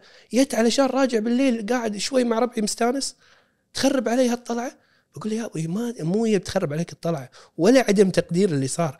هم ما يحسون بالشعور اللحظي ويعبرون عنه. إن أنت متحس بالشعور إحنا أنا الحين ضايقت منك بهالموقف ما راح أقول لا محمد عشر مواقف كان زين. ما له شغل بعبر عن إحساسي بالموقف. فأنت أنت ما له شغل في عدم التقدير فيبدون يستوعبون الرجال معي. إيه okay فهمت إنه احتوائي. والله دكتور تصدق يعني لما قمت ما أطلع من الغرفة وأشد شوي سيارة خلاص ترضى. تحس إني أحبها. وما كنت حاط ببالي هالأشياء. أنا حتى أنا بزواجي الشخصي ما كنت حاط ببالي هالأشياء. بس شفت شلون؟ يعني على كلام كافكا سكين أنبش بها ذاتي من خلاله تعلمت إنه شلون أحتوي شلون أتفهم مع الوقت. شلون ما اخذ الأمور شخصي. النساء يعني أو أو يعني إذا أنت دشيت بأي علاقة عاطفية راح تلاحظ إن معاها احتمال وايد تاخذ أمور شخصي لأنهم انفعالهم باللحظة. فعادي تتنرفز إيش فيها تقول كذي. إيش طبعا إذا تمادت وايد ممكن تقول لها لا أنا هني خط أحمر. عاد لا ما ترفعين صوتك بهالشكل أو ما تقطين هالكلمة الفلانية. لا أنا ما أسمح. في حدود. مو نفس ذاك اللي قلنا عنه اليوم في الجلسة إنه إنه ما يحط حدود وما يعرف يتكلم. لا في حدود. بس هي أنت لما تكون راسم حدودك معاي راح تكون محترمة انه ما تعدي. راح تظل على أنت ما تبيني أنت ناسيني خو طلقني خلاص قول ما بيك. راح تظل على هالدائرة. وعادي ترى يعني ممكن تقول كلمة طلقني وايد. مو لأنه صدق هي تبي تطلق بس متنرفزة منك. قاثها اليوم تستفزه إي حتى يسوون أشياء تضحك ساعات في ال social media تطلع صدق مبنية على واقع. واحدة دقت على زوجها قالت لا أنا بتهاوش. كان يقول هرمونات ولا صدق؟ تقول هرمونات. قال okay يلا نبلش. هو صدق ترى.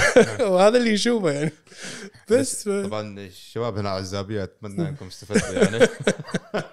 ترى والله هو شوف الشيء القواعد هذه ثابتة. يعني مع اي امرأة سواء أختك زوجتك حبيب ثابتة. إذا تصرفت كذي أنت راح تتميز. أصلا أنا أشوف الشباب لما يقولوا لي أنت منحاز المراه أقول لهم أنت لو تركزون الكتب مالتي مثلا أعرف وجهك الآخر. لو تدرسها صح اعزز لكم. إي أنت لو تدرسها صح أنت راح تصير من بين 3% من الرجال اللي جذابين. والرجل إحنا الميزة عندنا شنو؟ إنه إحنا بس نكون جذابين كشخصية بس أي بنت راح تكون أنت وايد سبيشل أو مميز عندها. بيقول لي واحد لا بس البنات يبون واحد ماديا وايد راهي. بقول له إي بس هذا يبونه عشان الصورة. ما راح تحبه ما راح تنجذب له. بس أنت إذا كان عندك جاذبية كل كل الكرة بملعبك. لأن أنت مجتمع الشباب ترى يعني نسبه الجاذبيه عندهم جدا منخفضه شفت التصرفات كلها تصرفاتهم عدم نضج. كلها طفولية. تزعل عليه زوجته هو يزعل. ليش هي زعلانة؟ تقول لي دكتور أنا الحين بروح أراضي ولا أنا؟ أنا زعلانة. ولا تزعل لي قاعد يلعب دور الضحية. آه أنا كل شيء أسوي لك. وأنا تدري ان أنا تعبان. وأنا... تقول ما أحب الضعف. شنو هذا الأسلوب؟ ولا تزعل يدش خل... يدخل هو بتعامل صامت أسبوع. لأن هي زعلانة فهو يعني كنا ساكت ما يتكلم. هاي التصرفات تطيح من قدره تطيح من جاذبيته. يصير مع الوقت تحس إنه شنو هذا؟ ما أنا مو مع رجل. والرجال يتعلموا الأساسيات. فرق كبير في العلاقات راح يصير. لو بس هو عنده هذه 1 2 3 4 5 ومن خلالها راح يشوف يعني أنت لو تدرس كتب الثلاثة بس هذول الثلاثة. أنت ما تحتاج يعني تعقد الأمور و- وايد مبسط لك إياها وكلها من تجارب واقعية. تعال اقعد مع أي واحد من ربعك قول له سولف لي عن قصتك.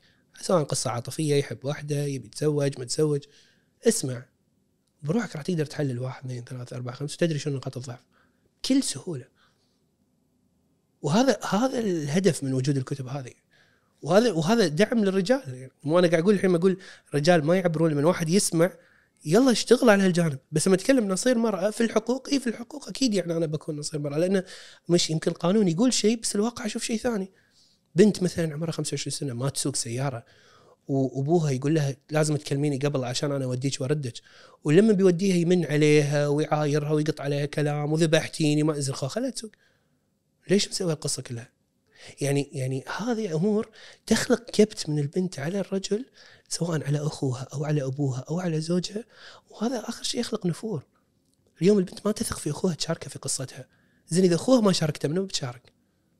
بس. زي دكتور هنا الآن إحنا عندنا فقرة، الفقرة هي عبارة عن أسئلة من أسئلة الجمهور نزلنا في ستوري عندنا في الحساب أي شخص عنده أي سؤال لدكتور أو مداخلة ممكن إحنا نطرحها هنا ونسمع رد الدكتور بتكون فقرة نوعا ما آه، نطرح الفكرة ونطرح السؤال ومن ثم ترد عليها بشكل آه، مختصر. هنا عندنا شخص يقول أن زوجتي تدعي أنها تكتفي جنسيا مرة واحدة في الأسبوع حاط بين قوسين اللي هي عطلة نهاية الأسبوع وإن لم يحصل تؤجره. إيش تعليقك؟ المشكلة هني هو قاعد يتشكل على رغباتها يعني هو عنده عقدة خضوع هو قاعد يدعي إن هي تمارس الجنس أو تبي تكون معاه في الجنس مرة واحدة في الأسبوع وكأنه هي تكتفي بهذا الشيء وهو متماشي معاه ومنساق ومتشكل على ما تريد. فهذه مشكلته الرئيسية عدم الوضوح فيه. هو شنو يبي شنو يناسبه ما يناسبه. ما قاعد يوضح حدوده مشاعره. زين التحليل واضح الحين إنه هو ما عنده شخصية وما عنده رؤية لتعريف الجنس وأساسياته. ان شلون مثلا الجنس فقط يصير مرة واحدة في الأسبوع وإذا لم يحدث مثلا ممكن يتأجل. لا هذا الكلام كله معناته فيه مغالطة كبيرة بمفاهيمك للجنس. إن ما في إنسان طبيعته في الجنس كذي إلا يمكن يكون قاعد يعاني من مشكلة أو في شيء داخله ما قاعد يشاركك إياه أو يمكن مشكلة في رغبته تجاهك فعشان كذي هو يحاول بس يمارس معاك بشكل إلزامي تفريغي وخلاص يعدي الموضوع. وكثير من القصص ممكن تلقى الزوجه مو منجذبه حق زوجها بس تسوي هالشيء بس أساس إن هذا شيء مفروض يصير أو عشان لا هو يشك أو تصير عنده أفكار أخرى. فيصير من باب الإلزامية. وهني معناته مشكلة أكبر قاعد تصير بالحوار الجنسي بينهم. لازم يصير في حوار جنسي شنو يعجبك ما يعجبك ليش آه، شنو الأنماط اللي إحنا نحبها ما نحبها. ويصير في وفاق بكتاب أعرف وجهك الآخر شرحت قسم جنسي كامل عن طرق التعامل وقت الجنس. وأمور يمكن ما حتى طرق لها من قبل وايد واضحة وصريحة ومباشرة. هذا شيء مهم. الحل من الحل القصة انه هو لازم يواجهها يقول لها هذا الكلام. أنا بالنسبة لي مو مو منطقي. ممكن يكون في شيء انت مو مصرحت فيه ما ابي تستحين ما ابي تخجلين ابي تعبري لي عن اللي داخلك. زين هنا أيضا في شخص آخر يقول زوجتي حنانة وتشيل بقلبها بدون ما تنسى وهالشيء يخليني أحس إنها نكدية وما أريد أقضي وقت معها. المشكلة الرئيسية هي إن هي قاعدة تشيل في قلبها معناته قاعدة تكبت عليه. عاد شوف لازم يعرف هو بالتحليل هني شنو مصدر هذا الكبت الكبت يخلي الإنسان يدش بحساسيه مفرطة نوبات غضب نوبات بكاء. والمشكلة دائما أنا أقول الكبت ممكن يقتل العلاقة. الكبت إذا تعدى ال 50% الإنسان يبدأ يفقد مشاعره تجاهك. طاف ال 60 و 65 ممكن يدخل بنفور كراهية. بالسبعينات وفوق ممكن يصل مرحلة إنه حتى يشعر بالانتقام. والغضب ممكن يكون بأعلى درجاته. فأنت ما تقدر تقول هي تشيل في قلبها معناته إن هي في أمور لم يتم الحديث عنها بالطريقة اللي اليوم قلت لك إياها فيها احتواء وتفهم وتغيير للسلوك بعدها. ممكن هي تحس مهما تعيد عليك الكلام أنت ما قاعد تغير الشيء هذا. فتصير كابتة وتظهر خارجيا لك سلبية ونكدية وتذمرية فأنت تنفر منها. في النهاية هذا هذا بروحه راح يؤدي إلى دمار في الزواج.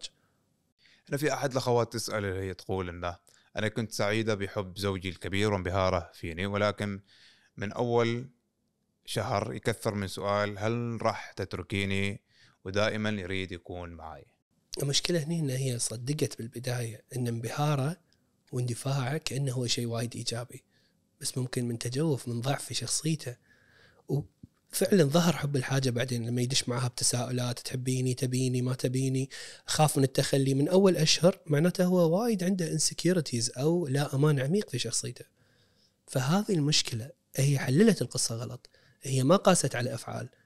هي من البداية استانست زوجي يحبني وايد أو منبهر فيني بس بالواقع الانبهار قد يبنى على نقص. وهو يمكن يخاف إنه شايفها أحسن منه. عاد ليش هو قاسها يمكن هي بالشكل يمكن بالوظيفة بالمادة ما أدري بالعائله حسب هو في عقله ليش هي أفضل. والنتاج إنه دخل معها بلا أمان عميق فطول الوقت يسألها تساؤلات اللي تنفر المرأة من الرجل لأن تدل على ضعف الشخصية. فالحل القصة إن هي تواجه إن هذا الأسلوب ما هو نافع معها ومو حابة وقاعد تنفر وانه هو لازم يعالج الموضوع مع نفسه وإلا الشيء ممكن تخليه يخسر العلاقة. أنا أحد الاشخاص يقول ان من بدأت زوجتي بعمل خاص وارتفع مدخولها صرت متوتر وأنفعل عليها وأخاف ما تحتاجني. كثير من الرجال ترى يعتقد ان إذا زوجته دائما اعتمدت عليه هذا الشيء يشعره في الأمان. فهني المشكلة هو كان يشعر بأمان مبني على احتياجها له. وربطه في إنه هو طبعا مرتبط داخله هو في عقدة نقص إنه من داخل هو مو حاس إنه بالأساس كان كافي ويمكن شعوره بالاكتفاء جاي من إنه يقدم لها أو يعطيها أو يسوي لها. الحين لما تغيرت القصة وهي صارت مستقلة أكثر بلش يدش بمخاوف وبلش يشعر بغضب انه يمكن هذا الشغل هو اللي راح يخرب العلاقة، ممكن يبدي ينتقد شغلها، ممكن يحاول يكسر مجاديفها، لكن في الواقع هو المفروض يسأل نفسه أنا ليش أنا قاعد أحس كذي؟ ليش أشعر انه زوجتي تقدمها في العمل راح يخليني في خطر؟ ليش ما تكون مكافئة لي ونبني مع بعض؟ ليش العلاقة تكون مبنية على اعتمادية؟ عشان يقدر يحل المشكلة اللي داخله. لازم يشتغل على شخصيته صراحة لأن الموضوع يحتاج علاج. هنا أحد الأخوات تقول أنه من بدأت أفكر بالطلاق. زوجي صار يحاول يتقرب من عيالي لكنهم ما حابينه بسبب أنه شخصيته معاهم تغيرت وحاول يفرض نفسه ويلومهم على عدم تدخلهم بالإصلاح. يعني الإصلاح بينه هو وبينها. فإيش تعليقك؟ المشكلة هني هي بدأت تفكر بالطلاق. شوف هي قالت بدأت أفكر في الطلاق واليوم إحنا تكلمنا عن أنا مع إصلاح الفرد وليس فقط إصلاح العلاقة إن تم إصلاح الفرد اولا وكان في مجال لإصلاح العلاقة راح نتوجه له إذا ما كان في مجال وكان شخص أفضل له إنه يتطلق راح أقول له اي الطلاق راح يكون أفضل في حالتك النفسية. زين في قصة هذه المرة قاعد تقول أنا فكرت في الطلاق. دام فكرت في الطلاق في مقولة قالها دوستويفسكي يمكن من المقولات الجميلة عن لما الإنسان يحلل ويدرك سبب انفصاله. قال المدرك ليس كالغاضب. المدرك لا يعود لا يعود أبدا. وفعلا أنا اشوفها لما الإنسان يدرك حقيقة الطرف الثاني وشنو ابعاد شخصيته. وظهرت الحين شوف بس فكرت بالطلاق ووضحت هو غير سلوكياته مع الأبناء. وصار يتقرب يتملق يحاول يشتري لهم هدايا أكثر يحاول يقربهم منه زيادة يمكن يلعب دور الضحية عليهم يمكن يشركهم في المشكلة ممكن يحاول يبتزهم عشان هم يصيرون الوسيط. معناته هذا الإنسان جدا أناني ولا كان مهتم في علاقته مع أبنائه. عشان كذي الأبناء الأبناء مو أغبياء. الأبناء هم بالأساس أنت تبني داخلهم شعور الأمان والثقة والحب بالمواقف مالتك من هم صغار. لما يشوفونك كذي أنت أصلا بعيد عنهم ما تسأل فيهم ولا مهتم. فجأة تقرب مفاجئ مع هدايا معلوم يحسون من داخل أنه ما نبيك. وخر عنا أبعد. حتى لو أنت أبو بس انت أنت اللي قاعد تسوي هذا مو سوي مو صحي. ف هذا السلوك اللي قاعد يسويه ترى هو مجرد ممارسات. بعض الأبناء الأذكياء يستغلون لصالحهم يشترون ويشترون أشياء بس يدرون من داخل ما في رابطة ما يكونون حب معه وهو يبدي يلومهم أنتم ليش ما تحبون أبوكم؟ أبوكم كله يونسكم ليش ما تشكرون أبوكم؟ وأنت طالع سلوكياتك. وأنت وينك عنهم؟ جيت الحين وقت اللي بتصير انفصال؟ قبلها وين ليش ما كنت موجود؟ معناته أنت ما تبيهم لأجلهم أنت تبيهم لأجل أمهم. أو ممكن من أجل صورتك أنت أمام الناس. ممكن. في بعضهم كذي في بعضهم لا يكون صدق متعلق بالأم وما يبي ينفصل عنها فيستغل الأطفال كطعم في القصة. زي دكتور هنا آخر آه، قصة واللي هي بعد علاقة ثلاث سنين بانتظار وعوده بالزواج انسحب بسبب رفض أمه وتزوج بعدها بشهر من شخص ثاني. شوف هني المشكلة يعني يعني إذا كان هذا الرجل فعلا معطيها وعود في الزواج وآخر شيء بعد ثلاث سنين انسحب وبعد شهر شهرين تزوج أنا أنا ما اعده مع الرجال اعده عقد الطفل. ليش؟ لأن أنت الحين معاها ثلاث سنوات بنيت وصار رابطة وثقت فيك. المفروض يكون عندك مسؤولية عن الآخر. يعني حتى لو أهلك رفضوا في النهاية ما راح تتزوج بعد شهر. لا تقعد راح تحاول فيهم مرة ثانية وثالثة ورابعة وخامسة. لأن البنت شاريتك فأنت المفروض تكون اوريدي رابطة العاطفة اللي بينكم قوية فراح تتمسك إلى أن تحل الموضوع. وهي ما هددتها يعني ما راحت قالت له ترى أنا الحين جاييني ناس بيخطبوني يلا بسرعة تعال قبل لا يروحون. ما سوت له أي نوع من الابتزاز حتى أو الضغط النفسي. بعض البنات يسوونها الضغط النفسي صدق يكون واقع وبعضهم لا يستخدمونه كتحايل. بس هي ما سوت له شيء. الحين بعد كل هالبناء فجأة أنت تكسر فيها. زين هل هذا أنا أعتبره تعشيم؟ شوف كلمة تعشيم لما يكون الشخص خبيث يسوي تحايل عاطفي متعمد عشان أنا أعلق الطرف هذا فيني وما بتزوجه. بالأساس. بس أعطيه وعود زواج. يكون نرجسي حيل فما فارق معه ما عنده إحساس بالذنب. بس في ناس نفس هذا الشخص يمكن ما يكون ترى يعني قاعد يعشمها بشكل متعمد. كنا أروح أقعد معي يقول لي والله دكتور شو أسوي؟ أمي رفضت وقالت لي أنا راح أتبرى منك. فقلت خلاص عشان أنساها أنساها تزوجت على طول واحدة ثانية. وشال مسؤوليته الذاتية عن إنه شلون يكلمها في الموضوع؟ شال مسؤوليته عن إنه على الأقل ينهي العلاقة بشكل سوي؟ زين شال مسؤوليته إنه يواجه أمه ويقول لها ما هذه حدود شخصية؟ انت امي وعلى عيني وراسي بس هذا شيء خاص فيني. ليش؟ ليش ما يصير؟ شنو السبب يعني؟ ما دخل بهذا كله باح بكل سهولة. هني هني تختلف المسألة. في, في واحد ثاني يكون قلت لك اللي يعشم بخبث غير عن هذا هذا هو غير واضح مع نفسه. عشان كان أخاف من الغير واضحين مع نفسهم أكثر. اللي يعشم بخبث يكون واضح. وايد في يعني أول ما تقول للبنت القصة أقول أوكي واحد اثنين ثلاث أربع واضح المعطيات. هذا ما يبي أصلا يكون رابطة حقيقية. ومواقفه تثبت. أما هذا مواقفه تثبت يعني شنو كان بيكون رابطة حقيقية. فجأة يصدمها. فهذا اللي يكون غير متوقع لأنه غير واضح مع نفسه لأنه ما عنده حدود حتى مع أسرته. طفل شكرا دكتور. حبيبي. أه حسابات الدكتور بتكون موجودة تحت في صندوق الوصف وأيضا رابط الاستماع للحلقة. نشكر أصدقائنا في النجم برودكشن على تسهيل كل أمور التصوير وأيضا أصدقائنا في بودكاست محفوف وبودكاست انفراد.